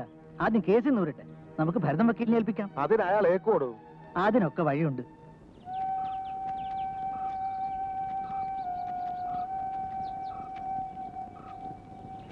ഭരതേട്ടൻ എന്താണ് ഈ പറയുന്നത്? ആ ആക്സിഡന്റ് കണ്ട ഏക ഐ വിറ്റ്നസ് നീയാണ്. നീ കോടതിയിൽ വരാതിരുന്നാൽ മാത്രം മതി. സത്യം സത്യമായി തന്നെ ബോധിപ്പിക്കണമെന്ന് എനിക്ക് നിർബന്ധമുണ്ട്. സിസിലി എന്റെ വെറും സഹപ്രവർത്തകർ മാത്രമായിരുന്നില്ല. ആ ആത്മബന്ധം ഇല്ല ഭരതേട്ടനത് മനസ്സിലാവില്ല. അനാഥയായ ആ കുഞ്ഞിന്റെ നിലവിളി ഇപ്പോഴും എന്റെ മനസ്സിൽ നീ പറയുന്ന കേട്ടാത്തൊന്നും അവരാരോ മനഃപൂർവം കൊന്നതാണെന്ന്. After all it was an accident എനിക്കും ദുഃഖമുണ്ട്. മതിയല്ലോ. എളുപ്പം പറയാൻ കഴിയുന്ന ഒരു വാക്ക്. കണ്ട സത്യം ഞാൻ കോടതിയിൽ മറച്ചു വെക്കണോ? അതോ ഭരതേട്ടൻ കേസ് വാദിക്കുമ്പോ ഞാൻ സത്യം പറഞ്ഞുവിടുന്നുണ്ടോ? സത്യം പറഞ്ഞാലും അതിനെ അതല്ലാതാക്കി മാറ്റാനും എന്റെ കക്ഷി രക്ഷിക്കാനും എനിക്ക് കഴിയും. നീ വെറുതെ കോടതിയിൽ നിന്ന് വിഷമിച്ച് വീർക്കണ്ടല്ലോ എന്ന് വിചാരിച്ചിട്ടാ. സാരമില്ല. സത്യം പറഞ്ഞാൽ ഉണ്ടാവുന്ന വിഷമതകൾ അത് ഞാനിങ്ങ് സഹിച്ചോളാം. ഓഹോ. അപ്പൊ നീ എന്നെ വളരെ മാന്യമായി തന്നെ വെല്ലുവിളിക്കാണല്ലേ അങ്ങനെയെങ്കിൽ അങ്ങനെ തന്നെ. പണം മോഹിച്ച്. മതി. ഇനി നമുക്ക് കോടതിയിൽ വെച്ച് കാണാം.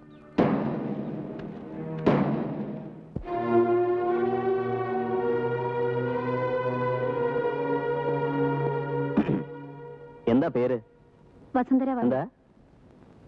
വർമ്മ. ആ. ഈ നിൽക്കുന്ന റെജിയെ നിങ്ങൾ അറിയോ അറിയാം. എങ്ങനെ അറിയാം?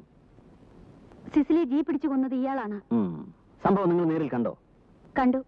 അതായത് സിസിലിക്ക് അപകടം സംഭവിക്കുമ്പോൾ നിങ്ങൾ സംഭവ സ്ഥലത്ത് ഉണ്ടായിരുന്നു അല്ലേ? അതെ. ആരായി ഭരത് വർമ്മ? ചോദിച്ചത് കേട്ടില്ലേ? ഭരത് വർമ്മയുമായി നിങ്ങൾക്ക് എന്താ ബന്ധമെന്ന്? അത് ഭരതേട്ടൻ അറിഞ്ഞൂടെ? ഇത് കോടതിയാണ്. ചോദിക്കുന്നതിന് ഉത്തരം മാത്രം പറഞ്ഞാൽ മതി. എന്റെ മുറച്ചെറുക്കനാണ്. അതായത് നിങ്ങളെ വിവാഹം കഴിക്കാൻ പോകുന്ന ആൾ അല്ലേ? അതെ. വിവാഹം നിങ്ങളുടെ വീട്ടുകാരുടെ സമ്മതത്തോടു കൂടിയാണോ? അതെ. ആ നിങ്ങൾ ഭരതവർമ്മയുമായി പുറത്തു പോകാറുണ്ടല്ലേ? ഈ വക ചോദ്യങ്ങൾ അനാവശ്യമാണ്. ഈ കേസുമായി ഇതിനൊക്കെ എന്താ ബന്ധം? ചോദ്യങ്ങളുടെ പ്രസക്തിയെക്കുറിച്ചും ചോദ്യങ്ങൾക്ക് ഈ കേസുമായുള്ള ബന്ധത്തെക്കുറിച്ചും നിങ്ങൾ എന്നെ ചോദ്യം ചെയ്യേണ്ട. ചോദിക്കുന്നതിന് ഉത്തരം മാത്രം പറഞ്ഞാൽ മതി. Mister Varma avoid unnecessary questions yes your honour I am coming to the point നിങ്ങൾ ഭരതവർമ്മയുമായി ഔട്ടിങ്ങിന് പോകാറുണ്ടോ? ചിലപ്പോഴില്ല. അതായത് നിങ്ങൾ കാമുകനോടൊത്ത് പുറത്തൊക്കെ ചുറ്റിക്കറങ്ങാറുള്ള ഒരു സ്ത്രീയാണെന്ന് ഞാൻ പറഞ്ഞാൽ നിങ്ങൾക്ക് നിഷേധിക്കാൻ പറ്റൂ ഈ സംഭവം നടന്നു എന്ന് പറയപ്പെടുന്ന ദിവസം നിങ്ങൾ കോളേജിൽ പോയിരുന്നു? അന്ന് ഞാൻ ലീവായിരുന്നു യെസ് അന്ന് നിങ്ങൾ ലീവ് എടുത്ത് പതിവ് പോലെ നിങ്ങളുടെ കാമുകനായ ഭരതവർമ്മയും ഒരുമിച്ച് പുറത്തുപോയി. എന്റെ കക്ഷിയുടെ കാർ ഇടിച്ച് സിസിലി എന്ന യുവതി മരിച്ചു എന്ന് പറയുന്നത് ഏതാണ്ട് മൂന്നര മണിക്കാണ്. പക്ഷേ അന്ന് രാവിലെ പതിനൊന്ന് മണി മുതൽ വൈകിട്ട് അഞ്ചര മണി വരെ ഇവർ തന്റെ കാമുകനായ ഭരതവർമ്മയും ഒരുമിച്ച് ഹോട്ടൽ സഫയറിൽ റൂം എടുത്ത് തങ്ങളുടെ ഭാവി കാര്യങ്ങളെ കുറിച്ച് ഡിസ്കസ് ചെയ്യായിരുന്നു ആ റൂം നമ്പർ എത്ര നൂറ്റി ഇരുപത്തിനാല്. യെസ് വൺ ട്വന്റി ഫോർ പതിനൊന്ന് മണി മുതൽ അഞ്ചര മണി വരെ ഭരതവർമ്മയോടൊപ്പം ഹോട്ടൽ റൂമിലുണ്ടായിരുന്ന ഇവർ മൂന്നര മണിക്ക് നടന്ന അപകട മരണത്തിന് ദൃക്സാക്ഷിയായി എന്ന് പറയുന്നത് തികച്ചും സത്യവിരുദ്ധമാണ്. യുവർ ഓണർ പിന്നെ ഹോട്ടൽ മുറിയിൽ ഇരുന്നുകൊണ്ട് ലോകത്ത് നടക്കുന്ന എല്ലാ അപകടങ്ങളും കാണാനുള്ള ദൈവിക ശക്തി ഇവർക്കുണ്ടോന്ന് എനിക്കറിയില്ല. ഏതായാലും ഈ പറഞ്ഞ ദിവസം അവർ ഹോട്ടലിൽ റൂമെടുത്ത് താമസിച്ചതിന്റെയും അവിടെ നിന്നും കഴിച്ച ഭക്ഷണത്തിന്റെയും ബില്ലുകൾ ബഹുമാനപ്പെട്ട കോടതിക്ക് പരിശോധിക്കാം. Yes you can proceed this may be marked as exhibit number one കൂടാതെ ഇവർ ഹോട്ടലിൽ താമസിച്ചു എന്നുള്ളതിന് അന്നേ ദിവസം ഡ്യൂട്ടിയിലുണ്ടായിരുന്ന ഹോട്ടൽ സ്റ്റാഫുകളായ ബാബുവും കൃഷ്ണനും സാക്ഷികളാണ്. ഈ പറഞ്ഞ കാര്യങ്ങൾ നിങ്ങൾക്ക് നിഷേധിക്കാൻ കഴിയുമോ?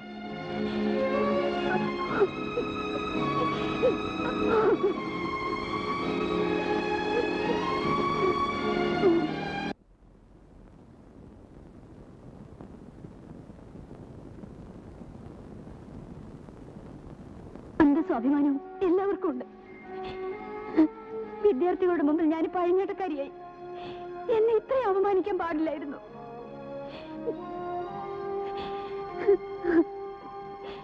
കേസ് ജയിക്കാൻ നിങ്ങൾ എന്ത് വൃത്തിയോടും കാണിക്കുമെന്ന് എനിക്ക് ബോധ്യമായി. സാക്ഷിക്കൂട്ടിൽ നിന്നത് ഞാനാണെന്ന് പോലും നിങ്ങൾ മറന്നു. കാമുകന്റെ കൂടെ അഴിഞ്ഞാടാൻ ഹോട്ടൽ മുറിയിൽ തങ്ങിയ ഒരു തേർഡ് പെണ്ണായി. ഇങ്ങനെയൊക്കെ സംഭവിക്കുമെന്ന് അറിയാമായിരുന്നത് കൊണ്ടാണ് നിന്നോട് സാക്ഷിയായി കോടതിയിൽ വരരുതെന്ന് ഞാൻ പറഞ്ഞത്. പിന്നെ നമ്മുടെ ബന്ധത്തെക്കുറിച്ച് ഈ നാട്ടുകാർക്ക് എല്ലാവർക്കും അറിയാം. നീ മറ്റൊരു പുരുഷന്റെ കൂടെ താമസിച്ചു എന്ന് ഞാൻ പറഞ്ഞില്ലല്ലോ. നിന്നെ കല്യാണം കഴിക്കാൻ പോകുന്നത് ഞാനല്ലേ. എന്റെ കൂടെ അല്ലേ നീ ഇനി മതി. എനിക്കെല്ലാം മതിയായി.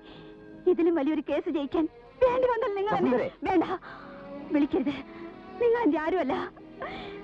നിങ്ങളെ പോലെ ഒരാളെ ഭർത്താവായി സങ്കല്പിക്കാൻ പോലെ എനിക്ക് കഴിയില്ല. നിങ്ങളെ നിങ്ങൾ എനിക്ക് ഭയമാണ്.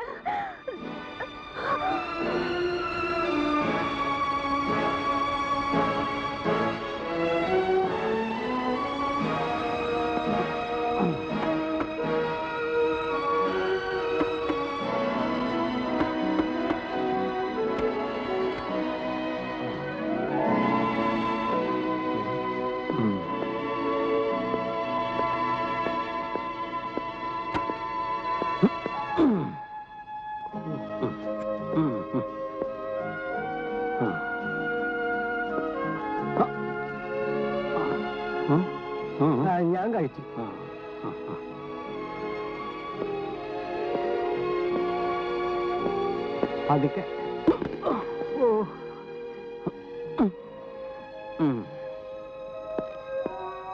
എന്റെ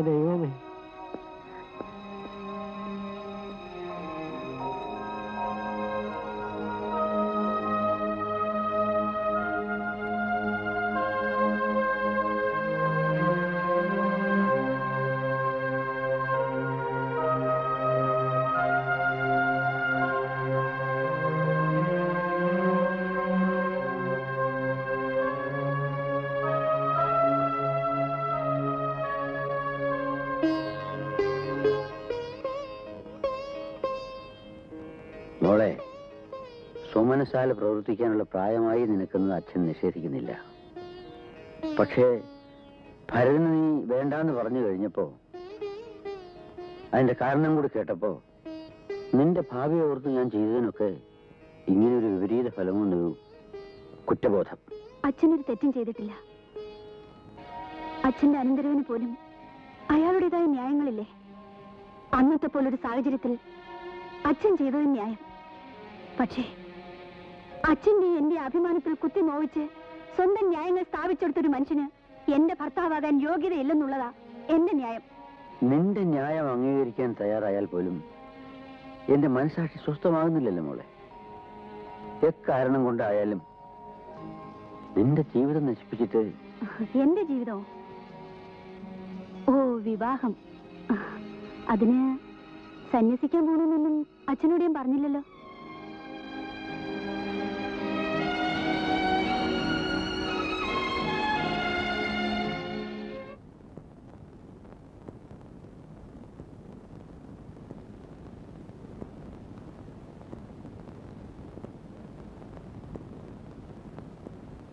കുഞ്ഞേ. കുഞ്ഞേ. കുഞ്ഞേ. എഴുന്നേറ്റ്. ദാ ഇതങ്ങ് കുടിച്ചേ. ഇതെന്താ? ബെഡ് ജ്യൂസാ? ഓ അതെ. കാപ്പി കുടിച്ചാൽ തലയുടെ കെട്ടിറങ്ങൂല കുഞ്ഞേ. അത് കുഞ്ഞുണ്ണിയമ്മ രാവിലെ എനിക്കിട്ട് നൂതിയതാണല്ലോ. കുഞ്ഞു ഊതിയാൽ ഞാനല്ലേ വീഴുന്നത്? കുഞ്ഞു വീഴുവോ? കുഞ്ഞേ ഞാൻ വെറും ഒരു കുശിനിക്കാരനായിരുന്നെങ്കിൽ കുഞ്ഞ് കുടിക്കുകയോ മറിയുകയോ ചെയ്താൽ ഞാൻ തിരിഞ്ഞു നോക്കൂലായിരുന്നു. കുഞ്ഞിന്റെ ഇഷ്ടം അതാണെന്ന് വിചാരിച്ച് ഞാൻ അങ്ങ് വിടുവായിരുന്നു. ഇത് നമ്മൾ തമ്മിലുള്ള. ഒന്നും എന്നെ പറഞ്ഞ് മനസ്സിലാക്കേണ്ട കുഞ്ഞുണ്ണമ്മ ഇരിക്കേ വാ. ഇന്നലെ നേരത്തെ കിടന്നുറങ്ങിയല്ലേ? ഞാൻ വന്നപ്പോ ഒരുപാട് വൈകി.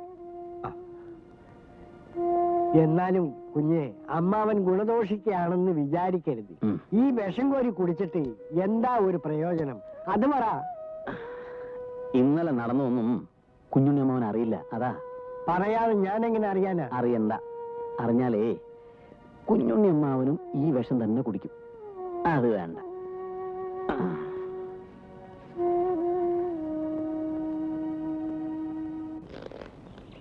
ഏ മോനെന്തിനാ കരയുന്നത്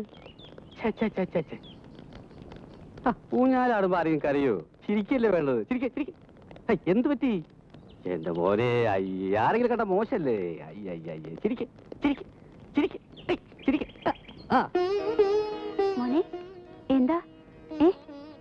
ശങ്കർ വിളിച്ചിട്ട് മോനെ വല്ലതും പറഞ്ഞോ? ഞാൻ കരടിയെ കണ്ടിട്ടുണ്ടെന്ന് ചോദിച്ചു. സാധാരണഗതിയിൽ ചിരിക്കാണ് വേണ്ടത്. അയ്യോ കരയല്ലേ മോനെ? എന്താ? ഏ ചിരിക്കേ ചിരിക്കേ. ആ. ആ. കരയല്ലേ മോനെ? മോളെ എത്ര കാലം എന്ന് വെച്ചാ നീ കുഞ്ഞിനെ വളർത്തുക? അച്ഛാ അത് നിന്റെ അലിവും സ്നേഹവും ഒക്കെ ഞാൻ മനസ്സിലാക്കുന്നു. എങ്കിലും നമുക്ക് ഈ കുഞ്ഞിനെ ഏതെങ്കിലും അനാഥാലയത്തിൽ കൊണ്ടാക്കാം. അനാഥാലയത്തിലോ? വേണ്ട അനാഥാലയത്തിൽ ഒരിക്കലും വളരരുത്. അമ്മയില്ലാത്ത ദുഃഖം അവനറിയരുത്. നിന്നെ നിന്റെ ഭാവിയെ കുറിച്ച് ഓർത്തപ്പോ ഒന്നുമില്ല. ശരി.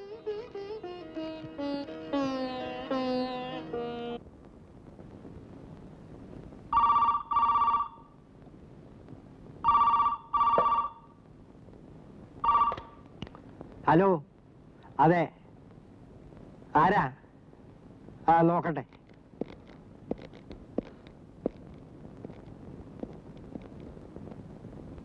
ഹലോ. അതിന്? ഞാനെന്ത് വേണം? നിങ്ങളെ തൂക്കിക്കൊന്നാലും ജീവപര്യന്തം ശിക്ഷിച്ചാലും എനിക്കൊന്നുമില്ലടോ. ഞാൻ പറഞ്ഞ ഫീസ് കിട്ടാതെ ഞാൻ വരില്ല. ഇല്ല എനിക്കൊരു വാക്കേ ഉള്ളൂ. പറയുമ്പോ മറ്റൊന്നും തോന്നരുത്. ഏറെ സമ്പാദിച്ചു. കോവിലത്താണെങ്കിലും ഇഷ്ടം പോലെ ഉണ്ട്. ഇനിയെങ്കിലും കക്ഷികളോട് അല്പമെങ്കിലും ദയവ്. ദയവോ? ആരോട്? പിടിച്ചുപറിക്കാരനോടും കഴുത്ത് വെട്ടുന്നവനോടുമാണോ അവർക്ക് കൊടുക്കാവുന്ന പരമാവധി ശിക്ഷ ഞാൻ വാങ്ങുന്ന കനത്ത ഫീസാണ്. ഒരു ക്രിമിനൽ വക്കീൽ നല്ലൊരു ബിസിനസ്സുകാരൻ കൂടിയാവണം. എനിക്ക് വലിയ മോഹങ്ങളൊന്നുമില്ല. കർണനെ പോലെ ദാനം ചെയ്ത എന്റെ അച്ഛനാവാൻ ഞാൻ തയ്യാറല്ല. കുഴഞ്ഞു മറിഞ്ഞ കേസുകൾ ജയിച്ചിറങ്ങുമ്പോൾ എനിക്ക് കിട്ടുന്ന ലഹരി പണം അതെല്ലാം എനിക്ക് വേണം. പക്ഷെ ഇതൊന്നും ആരും മനസ്സിലാക്കുന്നില്ല. എന്റെ വസുന്ധര പോലും. അവൾ വരെ എന്നെ തള്ളി പറഞ്ഞു വസുന്ധര കുഞ്ഞ് പറയുന്നതിലും കുറച്ചൊക്കെ കാര്യമുണ്ട്. ഉള്ള കള്ളന്മാരെ എല്ലാം പുണ്യാളന്മാരാക്കുന്ന ഈ ജോലി. വസുന്ധര കുഞ്ഞിന് ഇഷ്ടമല്ലെങ്കിൽ അതങ്ങ് കള. ഏറെ മനസ്സ് നൊന്നിട്ടാവും ആ കുഞ്ഞത് പറഞ്ഞത്. രക്തബന്ധത്തിന്റെ ബലം തമ്പുരാൻ കാണിച്ചു തന്നില്ലേ? ഇനിയെങ്കിലും സ്നേഹത്തിന്റെ മുമ്പിൽ തോറ്റു കൊടുക്കുന്നതല്ലേ ഏറ്റവും വലിയ വിജയം. എത്ര ഉപദേശിച്ചാലും എന്നെ ഞാൻ അല്ലാതാക്കി മാറ്റാനാവില്ലെന്ന് കുഞ്ഞുണ്ണിയമ്മാവൻ അറിയാമല്ലോ എന്താടോ ഇത്? കത്തി. കത്തിയല്ലടോ പേന. ഉവ്വ ഉവ്വല്ലടോ പേന. എതിർഭാഗം വക്കീൽ. കത്തി കാണിച്ചാൽ അത് പേനയാണെന്നും പേന കാണിച്ചാൽ അത് കത്തിയാണെന്നും താൻ പറയണം. അപ്പൊ കത്തി കാണിച്ചാലോ? വർമ്മ സാറിനോട് തന്നെ ചോദിക്കണം. ഇടോ താൻ കള്ളസാക്ഷി പറയാമെന്നതല്ലേ? അതെ. പറയുന്നത് കേട്ട് ഉള്ള കാശ് വാങ്ങിച്ചു വീട്ടിൽ പോടൂ. പോടൂ. Sir. Good morning sir sir good morning sir ആരും പോകുന്നില്ലേ? സെഷൻസ് കേസ് ഉള്ള കാരണം ഇന്നലെ തന്നെ മാറ്റി വെപ്പിച്ചു. അതാണോ നിശ്ചയിക്കുന്നത്? ഒരു കാര്യം നിശ്ചയിച്ചാൽ അത് നടത്തണം. അവസരത്തിനൊത്ത് നിശ്ചയം മാറ്റുന്ന നെറികെട്ട പണിയാ. എന്താണോ മിഴിച്ചു നോക്കുന്നത്? തന്റെ ഒക്കെ വിചാരം എളുപ്പത്തിൽ അങ്ങ് വക്കീലാവുന്നതായിരിക്കും. ആദ്യം ചെയ്യുന്ന ജോലിയോട് കൂറ് വേണം. മനസ്സിലായോ? മനസ്സിലായി. തന്നോടല്ല. അത് മനസ്സിലായി. ഗുഡ് മോർണിംഗ് സർ ഇന്നലെ തന്നെ ലെറ്റർ ടൈപ്പ് ചെയ്തോ? രണ്ടെണ്ണം കൂടി ഉണ്ട് സർ രണ്ടെണ്ണം. എന്ത് ലാഘവത്തോടാണ് പറയുന്നത്? പണി ചെയ്യാൻ ബുദ്ധിമുട്ടുള്ള ഒറ്റ ആളുകൂടെ വേണ്ട. മനസ്സിലായോ? അവൾക്കൊന്നും മനസ്സിലാവില്ല സാർ പറഞ്ഞപ്പോ അറിയാതെ. നേരാവില്ല ഒരൊറ്റ നേരാവില്ല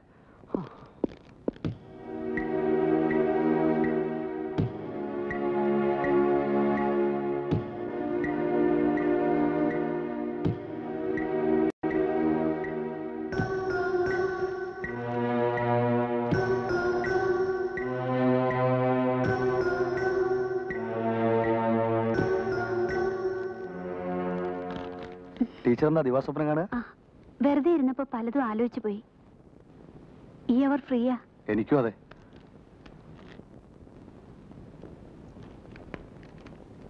ഈയിടെ പ്രസിദ്ധീകരിച്ച എന്റെ കവിതാ സമാഹാരമാ. ടീച്ചറൊന്ന് വായിക്കണം. ഇപ്പൊ ഇതൊന്നും വായിക്കാൻ പറ്റിയ മൂടല്ല എങ്കിലും സമയം പോലെ വായിച്ചിട്ട് അഭിപ്രായം പറയാം. മതി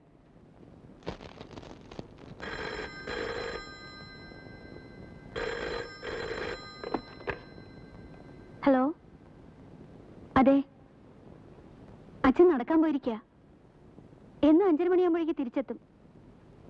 ശരി ഞാൻ പറയാം.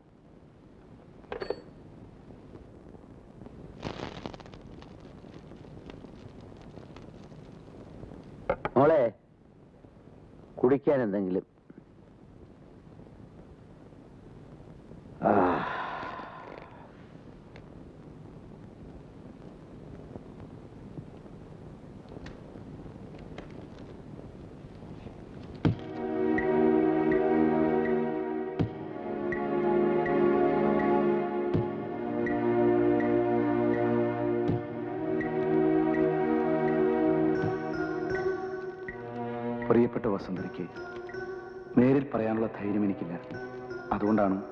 പ്രായത്തിൽ ഇങ്ങനെ ഒരു അവിവേകം കാണിച്ചത് ഒരു കാര്യം ആത്മാർത്ഥമായി തുറന്നു പറയുക. എനിക്ക് വസന്തരി വിവാഹം കഴിക്കാൻ ആഗ്രഹമുണ്ട്. നമ്മുടെ സഹപ്രവർത്തിയായിരുന്ന സിസിലിയുടെ കുഞ്ഞ് എനിക്കൊരിക്കലും ഒരു ഭാരമാവില്ല. ആലോചിച്ച് ഒരു തീരുമാനം അറിയിക്കുക. ആരാ ഈ വിദ്വാൻ?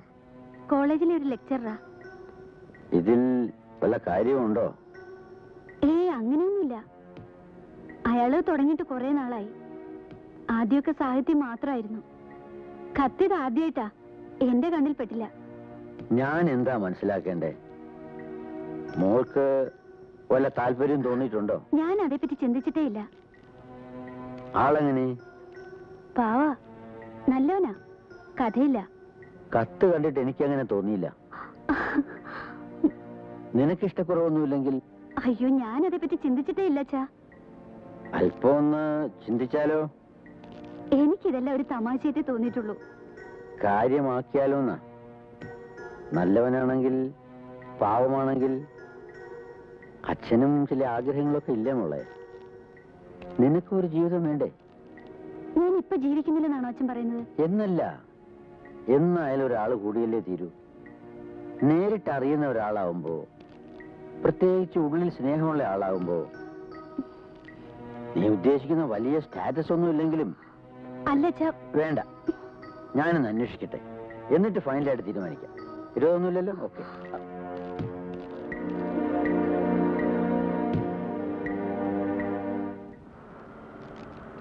അവർ വന്നു.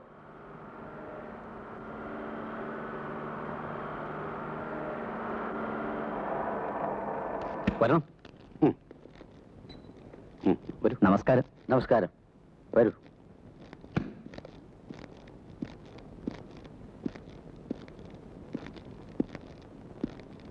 ഗോപാലൻ നായർ ഇരിക്കണം. വേണ്ട ഞാനിവിടെ വന്നോളാം. ഇരിക്കേ ഇരിക്കെ. ചായ. ഓ ഓ ഓ.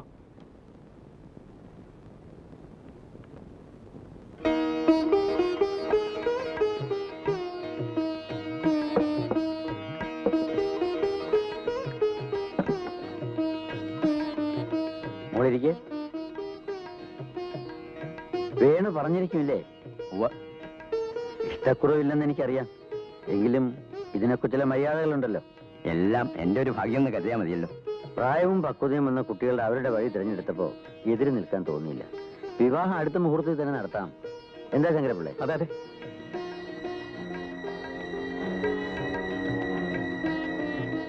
എന്ത് പേപ്പർ നോക്കാനാ? വേണ്ടതിനൊക്കെ വില കൂട്ടി. അമ്മാവാ ഭരതം വക്കീൽ വസുക്കുഞ്ഞേ വസുക്കുഞ്ഞെന്ന് പറഞ്ഞ് തപസ ആ കുഞ്ഞെന്താ ഇങ്ങനെ? അമ്മാവാ പെണ്ണിന്റെ മനസ്സ് കണ്ടവരില്ലെന്നാ പറയുന്നത്. എന്താ? എന്താ പറഞ്ഞത്? നിന്റെ കാര്യമല്ല പറഞ്ഞത്.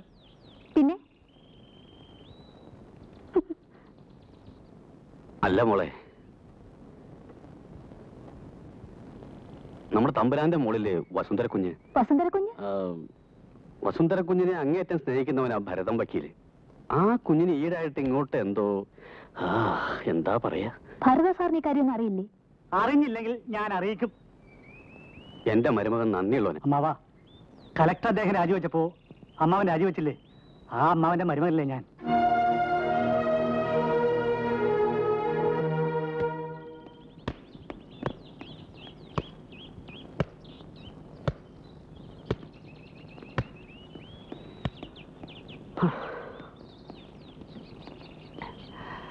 Okay okay. ശരി. താനിന്ന് നല്ല ഫോമിലായിരുന്നല്ലോ. കളിക്കുന്ന കളികളെല്ലാം ജയിക്കണമെന്ന് എനിക്ക് നിർബന്ധമുണ്ട്. പക്ഷെ കളികൾ പലതും തെറ്റുന്നുണ്ടല്ലോ വക്കീലെ. ആ തന്റെ മുറപ്പണിന്റെ കല്യാണം എന്തായി? സ്റ്റേറ്റ് കോമ്പറ്റീഷൻ താൻ പങ്കെടുക്കുന്നുണ്ടോ? അടുത്ത മാസമല്ലേ? ഞാൻ ചോദിച്ചതിന് മറുപടി പറഞ്ഞില്ലല്ലോ. ആ എന്റെ പെണ്ണിനെ ഞാൻ തന്നെ കിട്ടും.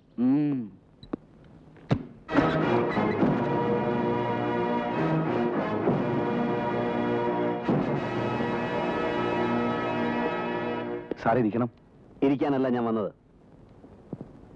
നാല് വരി കവിത എഴുതി കഴിയുമ്പോഴേക്കും വലിയ വലിയ മോഹങ്ങൾ അങ്ങോട്ട് വരിക. വസുന്ധര എന്റെ മുറപ്പെണ്ണ. ഞാനല്ലാതെ വേറെ ഒരുത്തിനും അവളുടെ കഴുത്തിൽ താലി കെട്ടില്ല.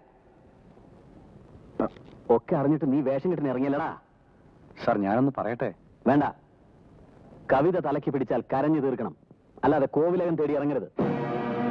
അവനവന്റെ നില മനസ്സിലാക്കണം. അല്ലെങ്കിൽ ഈ ഭൂമിക്ക് മുകളിൽ നീ ഉണ്ടാവില്ല. ഓർത്തോ? ഒരു തെളിവ് അവശേഷിപ്പിക്കാതെ. Yes without having any evidence clean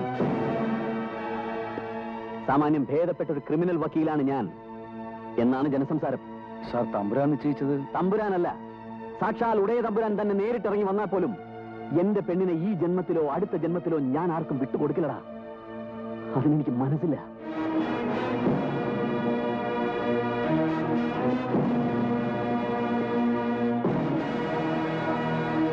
പറഞ്ഞതനുസരിച്ചാൽ അച്ഛനും മകനെയും മകൻ അച്ഛനെയും കാണാം. അല്ലെങ്കിൽ ഈ വീടിരിക്കുന്ന സ്ഥലം പോലും കാണില്ല. സംശയം വല്ലതും ഉണ്ടോ? ഇല്ലേ? ഈശ്വരനെ ഓർത്ത് വക്കീൽ സാർ ക്ഷമിക്കണം. ഞാൻ തമ്പുരാനും കൊടുത്ത വാക്ക് താനും തന്റെ ഓമന പുത്രനും ജീവിച്ചിരുന്നാലല്ലേ അത് പാലിക്കേണ്ടി വരൂ? എടോ നായരെ ഈ ലോകം മുഴുവൻ എതിർത്താലും ഞാൻ എന്ത് ആഗ്രഹിക്കുന്നുവോ അത് നടത്തിയിരിക്കും. ഞാൻ പറഞ്ഞ് ശരിയാക്കിയിരിക്കും. എനിക്ക് നായരെ വിശ്വസിക്കാം അല്ലേ? തീർച്ചയായും വിശ്വസിക്കാം. അവൻ അനുസരിക്കാൻ തയ്യാറായില്ലെങ്കിൽ അങ്ങനെ ഉണ്ടാവില്ല. വക്കീൽ സാർ ക്ഷമിച്ചാൽ മാത്രം മതി. പറഞ്ഞതനുസരിച്ചാൽ ലാഭം മുഴുവൻ തനിക്കാ.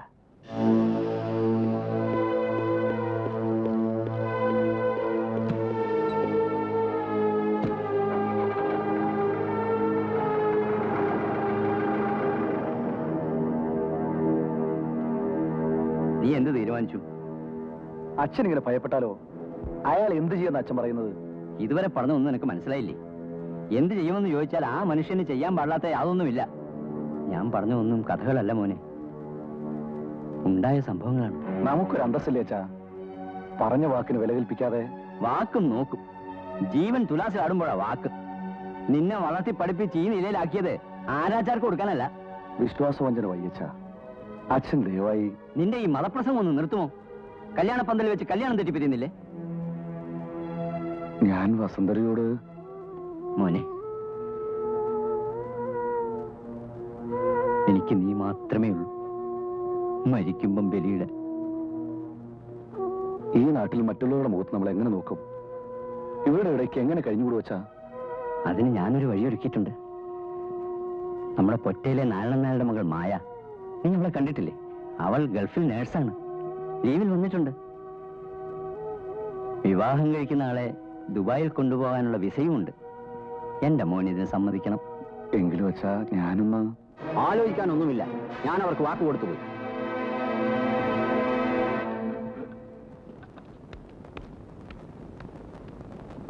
സാർ ആ. ഈ കല്യാണം നടക്കില്ല. അവർ ചതിച്ചു. വേണുഗോപാൽ വേറെ പെണ്ണും കെട്ടി ദുബായിക്ക് പോയി. തന്നോട് ആര് പറഞ്ഞു? അറിഞ്ഞു സാർ. നഷ്ടങ്ങളുടെ വർഷമായിരുന്നു ഇത്. ആദ്യം സിസിലി ടീച്ചർ. പിന്നെ വേണു സർ. ഇപ്പോ സിസിലി ടീച്ചറുടെ മരണം വലിയൊരു ട്രാജഡി ആയിപ്പോയി. വേണുഗോപാൽ പണം ഉണ്ടാക്കാൻ ഗൾഫിലേക്ക് പോയതാ. അയാൾ കാണിച്ച ഒട്ടും ശരിയായില്ല. അതിന്റെ മാനക്കേട് സഹിക്കാൻ പറ്റാത്തതുകൊണ്ടാ വസുന്ധര രാജിവെച്ചത്. ഏതായാലും വസുന്ധരയെ സ്തുതിക്കണം. സിസിലിയുടെ കുട്ടിയെ എടുത്തു വളർത്താനുള്ള മനസ്സുണ്ടായല്ലോ. എല്ലാം വിധിവശാലെന്ന് കരുതിയാ മതി. ഒക്കെ സംഭവിക്കേണ്ടതായിരുന്നു എന്ന് കരുതാം. നമ്മുടെ നിയന്ത്രണത്തിനും അപ്പുറത്തായി എല്ലാം. Subject to change and limited by time എന്നല്ലേ? ഈ വർഷത്തെ അവസാനത്തെ ക്ലാസ് അല്ലേ അടുത്ത വർഷം ക്ലാസ് എടുക്കാൻ ആരൊക്കെ ഉണ്ടാവോ എന്തോ?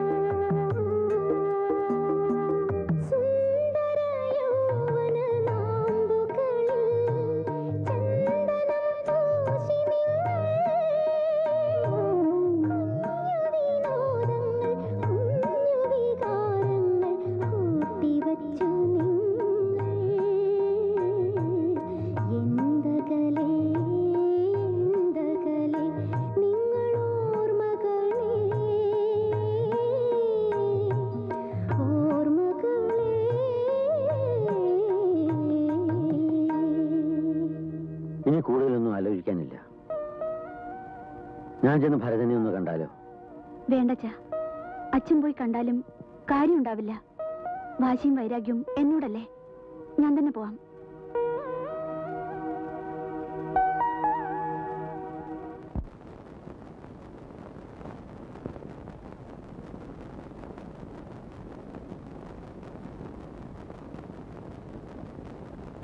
ഭരതേട്ടാ. നോ അഡ്വക്കേറ്റ് ഭാരത് വർമ്മ എന്താണാവോ എഴുന്നള്ളത്തിന്റെ ഉദ്ദേശം? എന്റെ എന്റെ മകന്റെ കേസിനെ കുറിച്ച് പറയാനാണ് ഞാൻ വന്നത്. ആരുടെ മകൻ? തമ്പുരാട്ടിയുടെ മകനോ? ഓ വളർത്തുപുത്രൻ തമ്പരാട്ടി പറഞ്ഞു വരുന്നത് സൗമ്യ കൊലക്കേസിന്റെ കാര്യമാണോ? അഡ്വക്കേറ്റ് സെബാസ്റ്റ്യൻ നടത്തുന്നത്? അവൻ കാമുകിയെ കൊന്നുവല്ലേ? വിനു തെറ്റ് ചെയ്തിട്ടില്ല. അത് തീരുമാനിക്കേണ്ടത് നിങ്ങളല്ലല്ലോ. കോടതിയല്ലേ? നിയമത്തിന്റെ മുന്നിൽ അവൻ കുറ്റവാളിയാണ്. അവൻ നിരപരാധിയാണെന്ന് ഭരതേട്ടന് തെളിയിക്കാനാവില്ലേ? സോറി നമ്മുടെ നീതി സങ്കല്പങ്ങൾ തമ്മിൽ പരസ്പരം പൊരുത്തപ്പെടില്ല തമ്പുരാട്ടി. ജയിക്കാൻ സാധ്യതയില്ലാത്ത കേസുകൾ ഞാൻ ഏറ്റെടുക്കാറില്ല. ഏറ്റെടുക്കുന്ന കേസുകൾ ജയിക്കണമെന്ന നിർബന്ധവും എനിക്കുണ്ട്. പിന്നെ ഏറ്റെടുത്താൽ കേസ് ജയിക്കാൻ വേണ്ടി പലതും ചെയ്യേണ്ടതായി വരും. അവിടെ രക്തബന്ധത്തിനോ സ്നേഹബന്ധത്തിനോ യാതൊരു വിലയുമില്ല. ദാറ്റ്സ് മൈ പ്രൊഫഷണൽ എത്തിക്കേറ്റ് പക്ഷെ നിങ്ങളെപ്പോലുള്ളവർക്ക് അതുമായി പൊരുത്തപ്പെടാനാവോ തമ്പുരാട്ടി?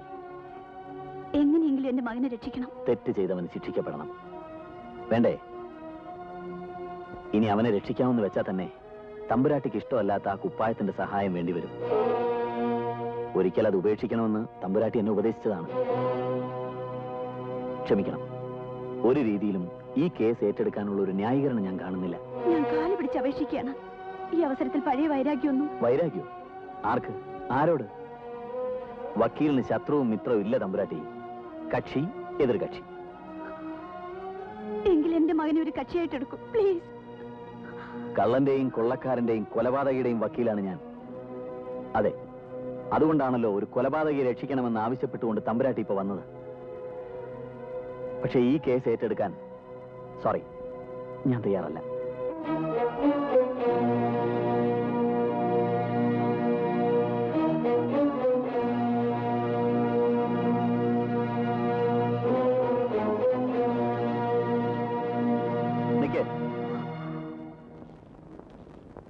ആശ്രയം തേടി വരുന്നവരെ വർമ്മ നിരാശപ്പെടുത്തി അയക്കാറില്ല. അത് ക്ഷത്രിയ ധർമ്മം. ജയിക്കുമെന്ന് വലിയ പ്രതീക്ഷയൊന്നും വേണ്ട. സാക്ഷി വിസ്താരവും ആർഗ്യുമെന്റും എല്ലാം കഴിഞ്ഞ സ്ഥിതിക്ക് ഫർദർ എവിഡൻസിന് ഒരു ത്രീ ലെവൻ പെറ്റീഷൻ ഫയൽ ചെയ്ത് നോക്കാം. അതിനു മുമ്പ് തമ്പുരാട്ടി എനിക്കൊരു കാര്യം പറഞ്ഞു തരണം. സാക്ഷിക്കൂട്ടിൽ നിൽക്കുന്നത് എന്റെ ബന്ധുവാണെങ്കിൽ സുഹൃത്താണെങ്കിൽ ഞാൻ എന്ത് ചെയ്യണം?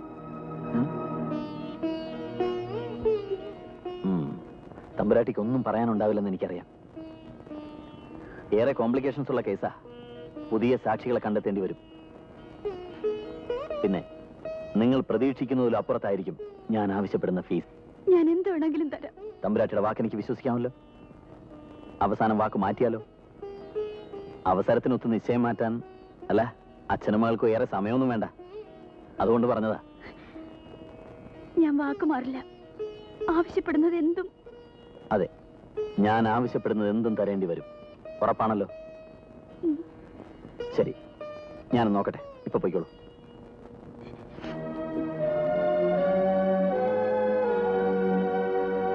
സാക്ഷിമൊഴികൾ കുറച്ച് കോംപ്ലിക്കേറ്റഡ് ആണ് സാർ ക്രോസിൽ ഞാൻ മാക്സിമം വരുത്താവുന്നതൊക്കെ വരുത്തി. റേപ്പ് അറ്റംപ്റ്റ് പോസ്റ്റ്മോർട്ടം റിപ്പോർട്ടിൽ കൺഫേം ചെയ്തിട്ടുണ്ടല്ലോ അല്ലേ? Sir okay thank you mister Sebastian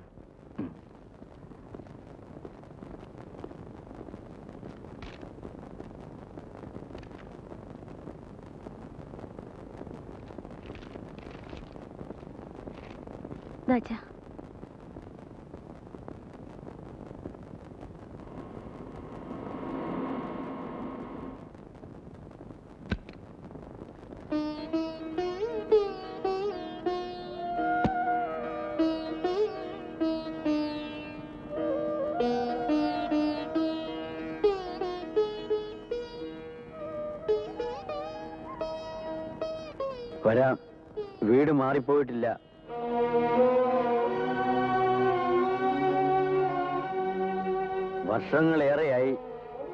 സന്തോഷമുണ്ട് ഇരിക്കൂ. വേണ്ട. എനിക്ക് കേസിനെ കുറിച്ച് ചില വിവരങ്ങൾ അറിയണം. കൊല്ലപ്പെട്ട പെൺകുട്ടിയുമായുള്ള ബിനുവിന്റെ അടുപ്പത്തെക്കുറിച്ച് എന്തെങ്കിലും അറിയാവോ? ഇല്ല. കോളേജിൽ നടക്കുന്ന സംഭവങ്ങളെക്കുറിച്ച് ബിനു അമ്മയോടൊന്നും പറയാറില്ലേ? ചില തമാശകളൊക്കെ പറയാറുണ്ട്. ഡയറി എഴുതുന്ന സ്വഭാവമുണ്ടോ? ഞാനെങ്ങനെ ഞാൻ ബിനുവിന്റെ കാര്യമാണ് ചോദിച്ചത്. പുസ്തകങ്ങളുടെ കൂട്ടത്തിൽ ഡയറി ഒന്നും കാണാറില്ല. എനിക്ക് വിനുവിന്റെ മുറി ഒന്ന് കണ്ടാക്കൊള്ളാവുന്നുണ്ട് മോളെ ചെല്ല്.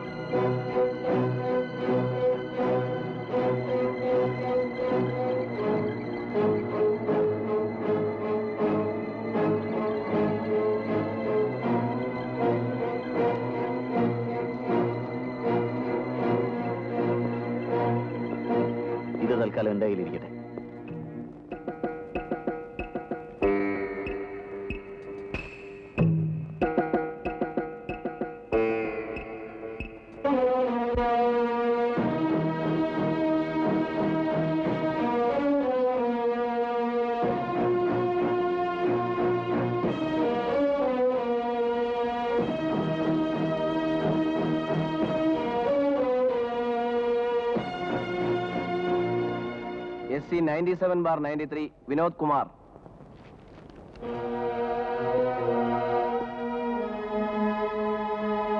Your Honor, I am filing a fresh vakalat for the accused, along with a petition under section 311 of the CRPC to reopen the evidences.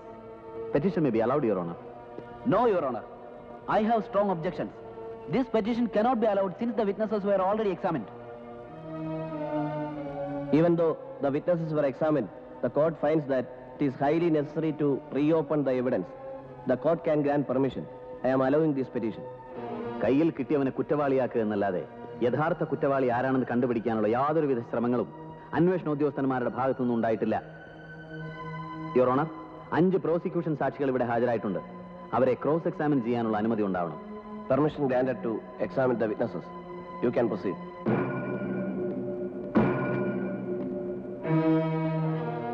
ദൈവം സാക്ഷിയായി. ദൈവം സാക്ഷിയായി. കോടതി മുൻപാകെ. കോടതി മുമ്പാകെ സത്യം മാത്രമേ ബോധിപ്പിക്കൂ. സത്യം മാത്രമേ ബോധിപ്പിക്കൂ.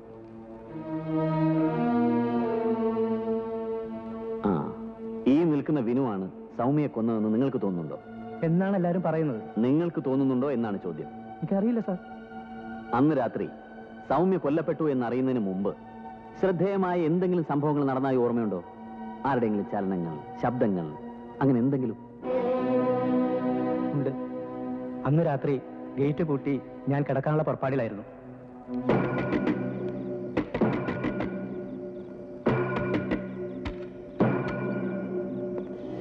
ആരത് പൂട്ടിട്ട്? ഏതെങ്കിലും പിള്ളേരായിരിക്കും.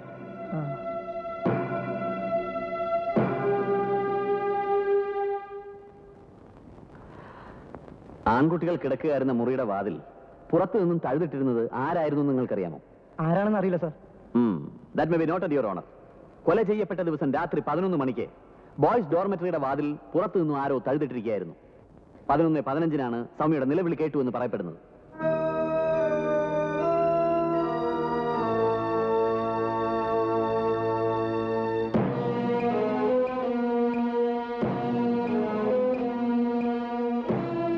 ഈ കത്തും ബർത്ത്ഡേ കാർഡും ആരാർക്ക് അയച്ചതാണെന്ന് അറിയാവോ അറിയാം.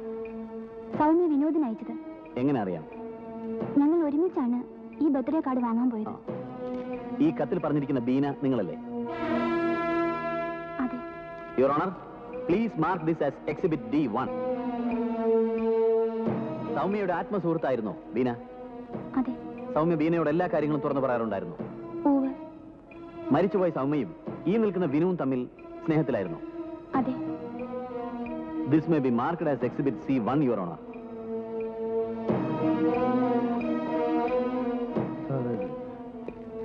എന്താ പേര്? മാത്യൂസ്. എന്താ? മതായി ഗേൾസ് ഡോർമെറ്ററിയിൽ ബഹളം നടക്കുമ്പോൾ നിങ്ങൾ എന്ത് ചെയ്യായിരുന്നു? ഞാൻ ഉറങ്ങുകയായിരുന്നു. എവിടെ? എന്റെ റൂമിൽ. നിങ്ങൾ ഒറ്റയ്ക്കാണോ കിടന്നിരുന്നത്? അല്ല എന്റെ കൂടെ വേറെ ആരെങ്കിലും ഉണ്ടായിരുന്നു? മറ്റൊരു അധ്യാപകനും ഉണ്ടായിരുന്നു. Please note it your honour ഇദ്ദേഹവും മറ്റൊരു അധ്യാപകനും കൂടി ഒരു മുറിയിലാണ് കിടന്നുറങ്ങിയിരുന്നത്.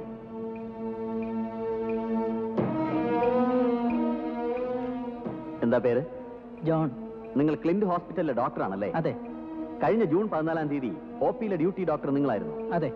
ജൂൺ പതിനാലാം തീയതി ഒ പി നമ്പർ പതിനൊന്നിൽ പറയുന്ന രോഗി നിങ്ങളുടെ അടുത്ത് വന്നിരുന്നു. വലതു കൈപ്പത്തിയിൽ കല്ലച്ച് പഴുത്ത ഒരു മുറിവുമായി. ആ മുറിവ് കീറി നിങ്ങൾ പുറത്തെടുത്തത് പച്ച നിറത്തിലുള്ള ഒരു വളപ്പൊട്ടായിരുന്നില്ലേ? അതെ. ആ വളപ്പൊട്ട് ഇത് തന്നെയല്ലേ? അതെ. ആ രോഗിയെ കണ്ടാൽ ഇനി നിങ്ങൾക്ക് തിരിച്ചറിയാൻ കഴിയുമോ? അറിയാം. എങ്ങനെ? എനിക്ക് അയാളെ കണ്ടു പരിചയമുണ്ട്.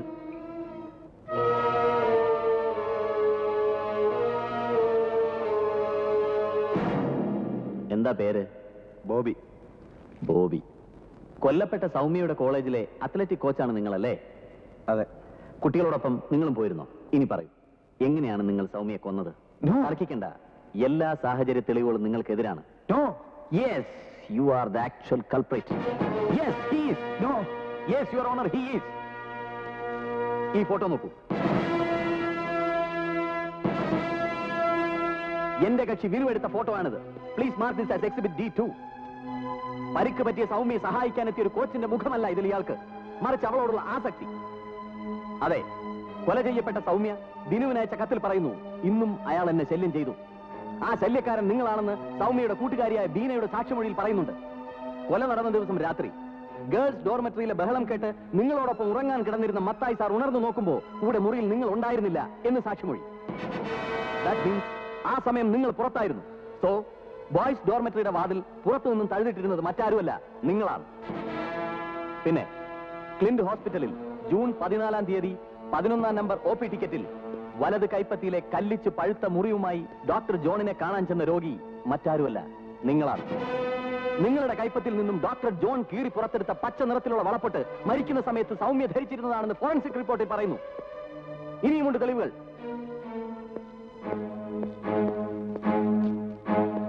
സൗമ്യയുടെ ശവശരീരത്തിൽ നിന്നും പോലീസ് കണ്ടെടുത്തതാണ് ഈ മാല. സൗമ്യയുടേതാണെന്ന് മഹദർ റിപ്പോർട്ട് ചെയ്ത് കോടതിയിൽ ഹാജരാക്കിയ ഈ മാലയുടെ ലോക്കറ്റിൽ കാണുന്ന എസ് എന്നത് സൗമ്യ എന്ന പേരിന്റെ ആദ്യാക്ഷരമല്ല. മറിച്ച് ബോബി എന്ന് വിളിക്കപ്പെടുന്ന സാം സെക്കറിയ എന്ന നിങ്ങളുടെ പേരിന്റെ ആദ്യാക്ഷരമാണ്. ഈ മാല നിങ്ങളുടേതാണ്. നിഷേധിക്കാൻ പറ്റുമോ?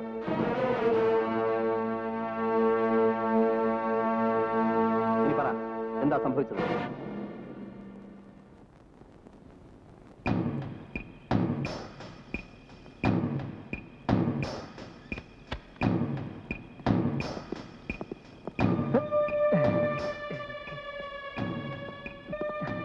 ഒന്നുമില്ല വാതിലിനേരം മുട്ടി വന്നു ഇല്ല ആരുമില്ല പക്ഷെ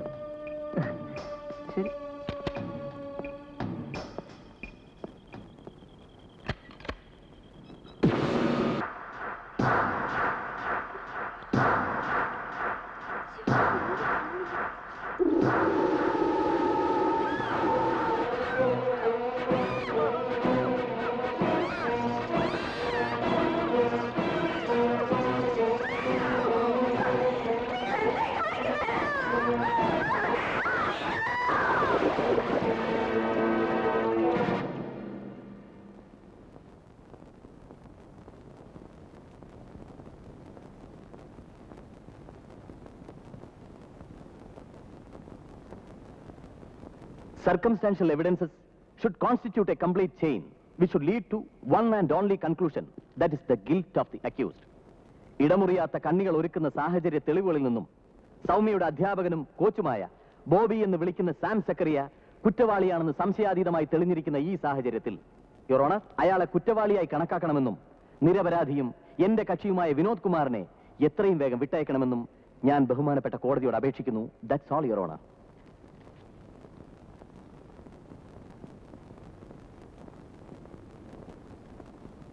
Hence, this court finds that the guilt against the accused is not proved beyond reasonable doubts. So, the accused is acquitted. പ്രതിയെ വിട്ടയക്കുന്നു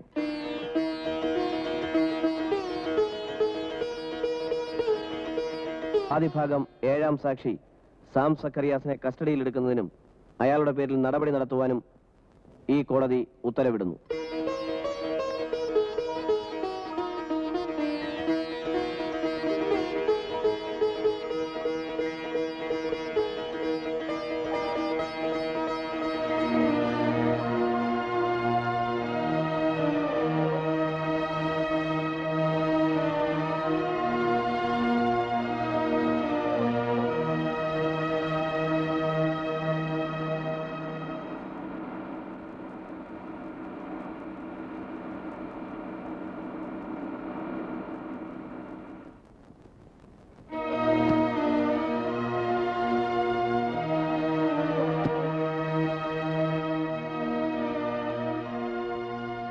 സന്തോഷമായി പരുത.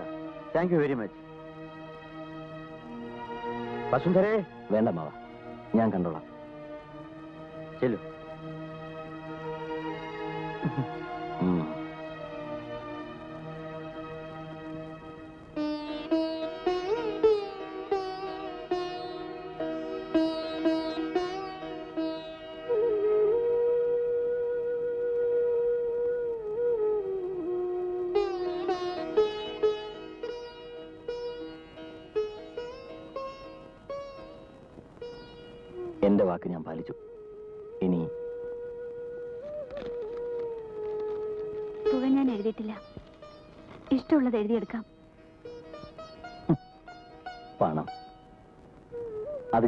ഞാൻ ആവശ്യത്തിലേറെ നേടിക്കഴിഞ്ഞു.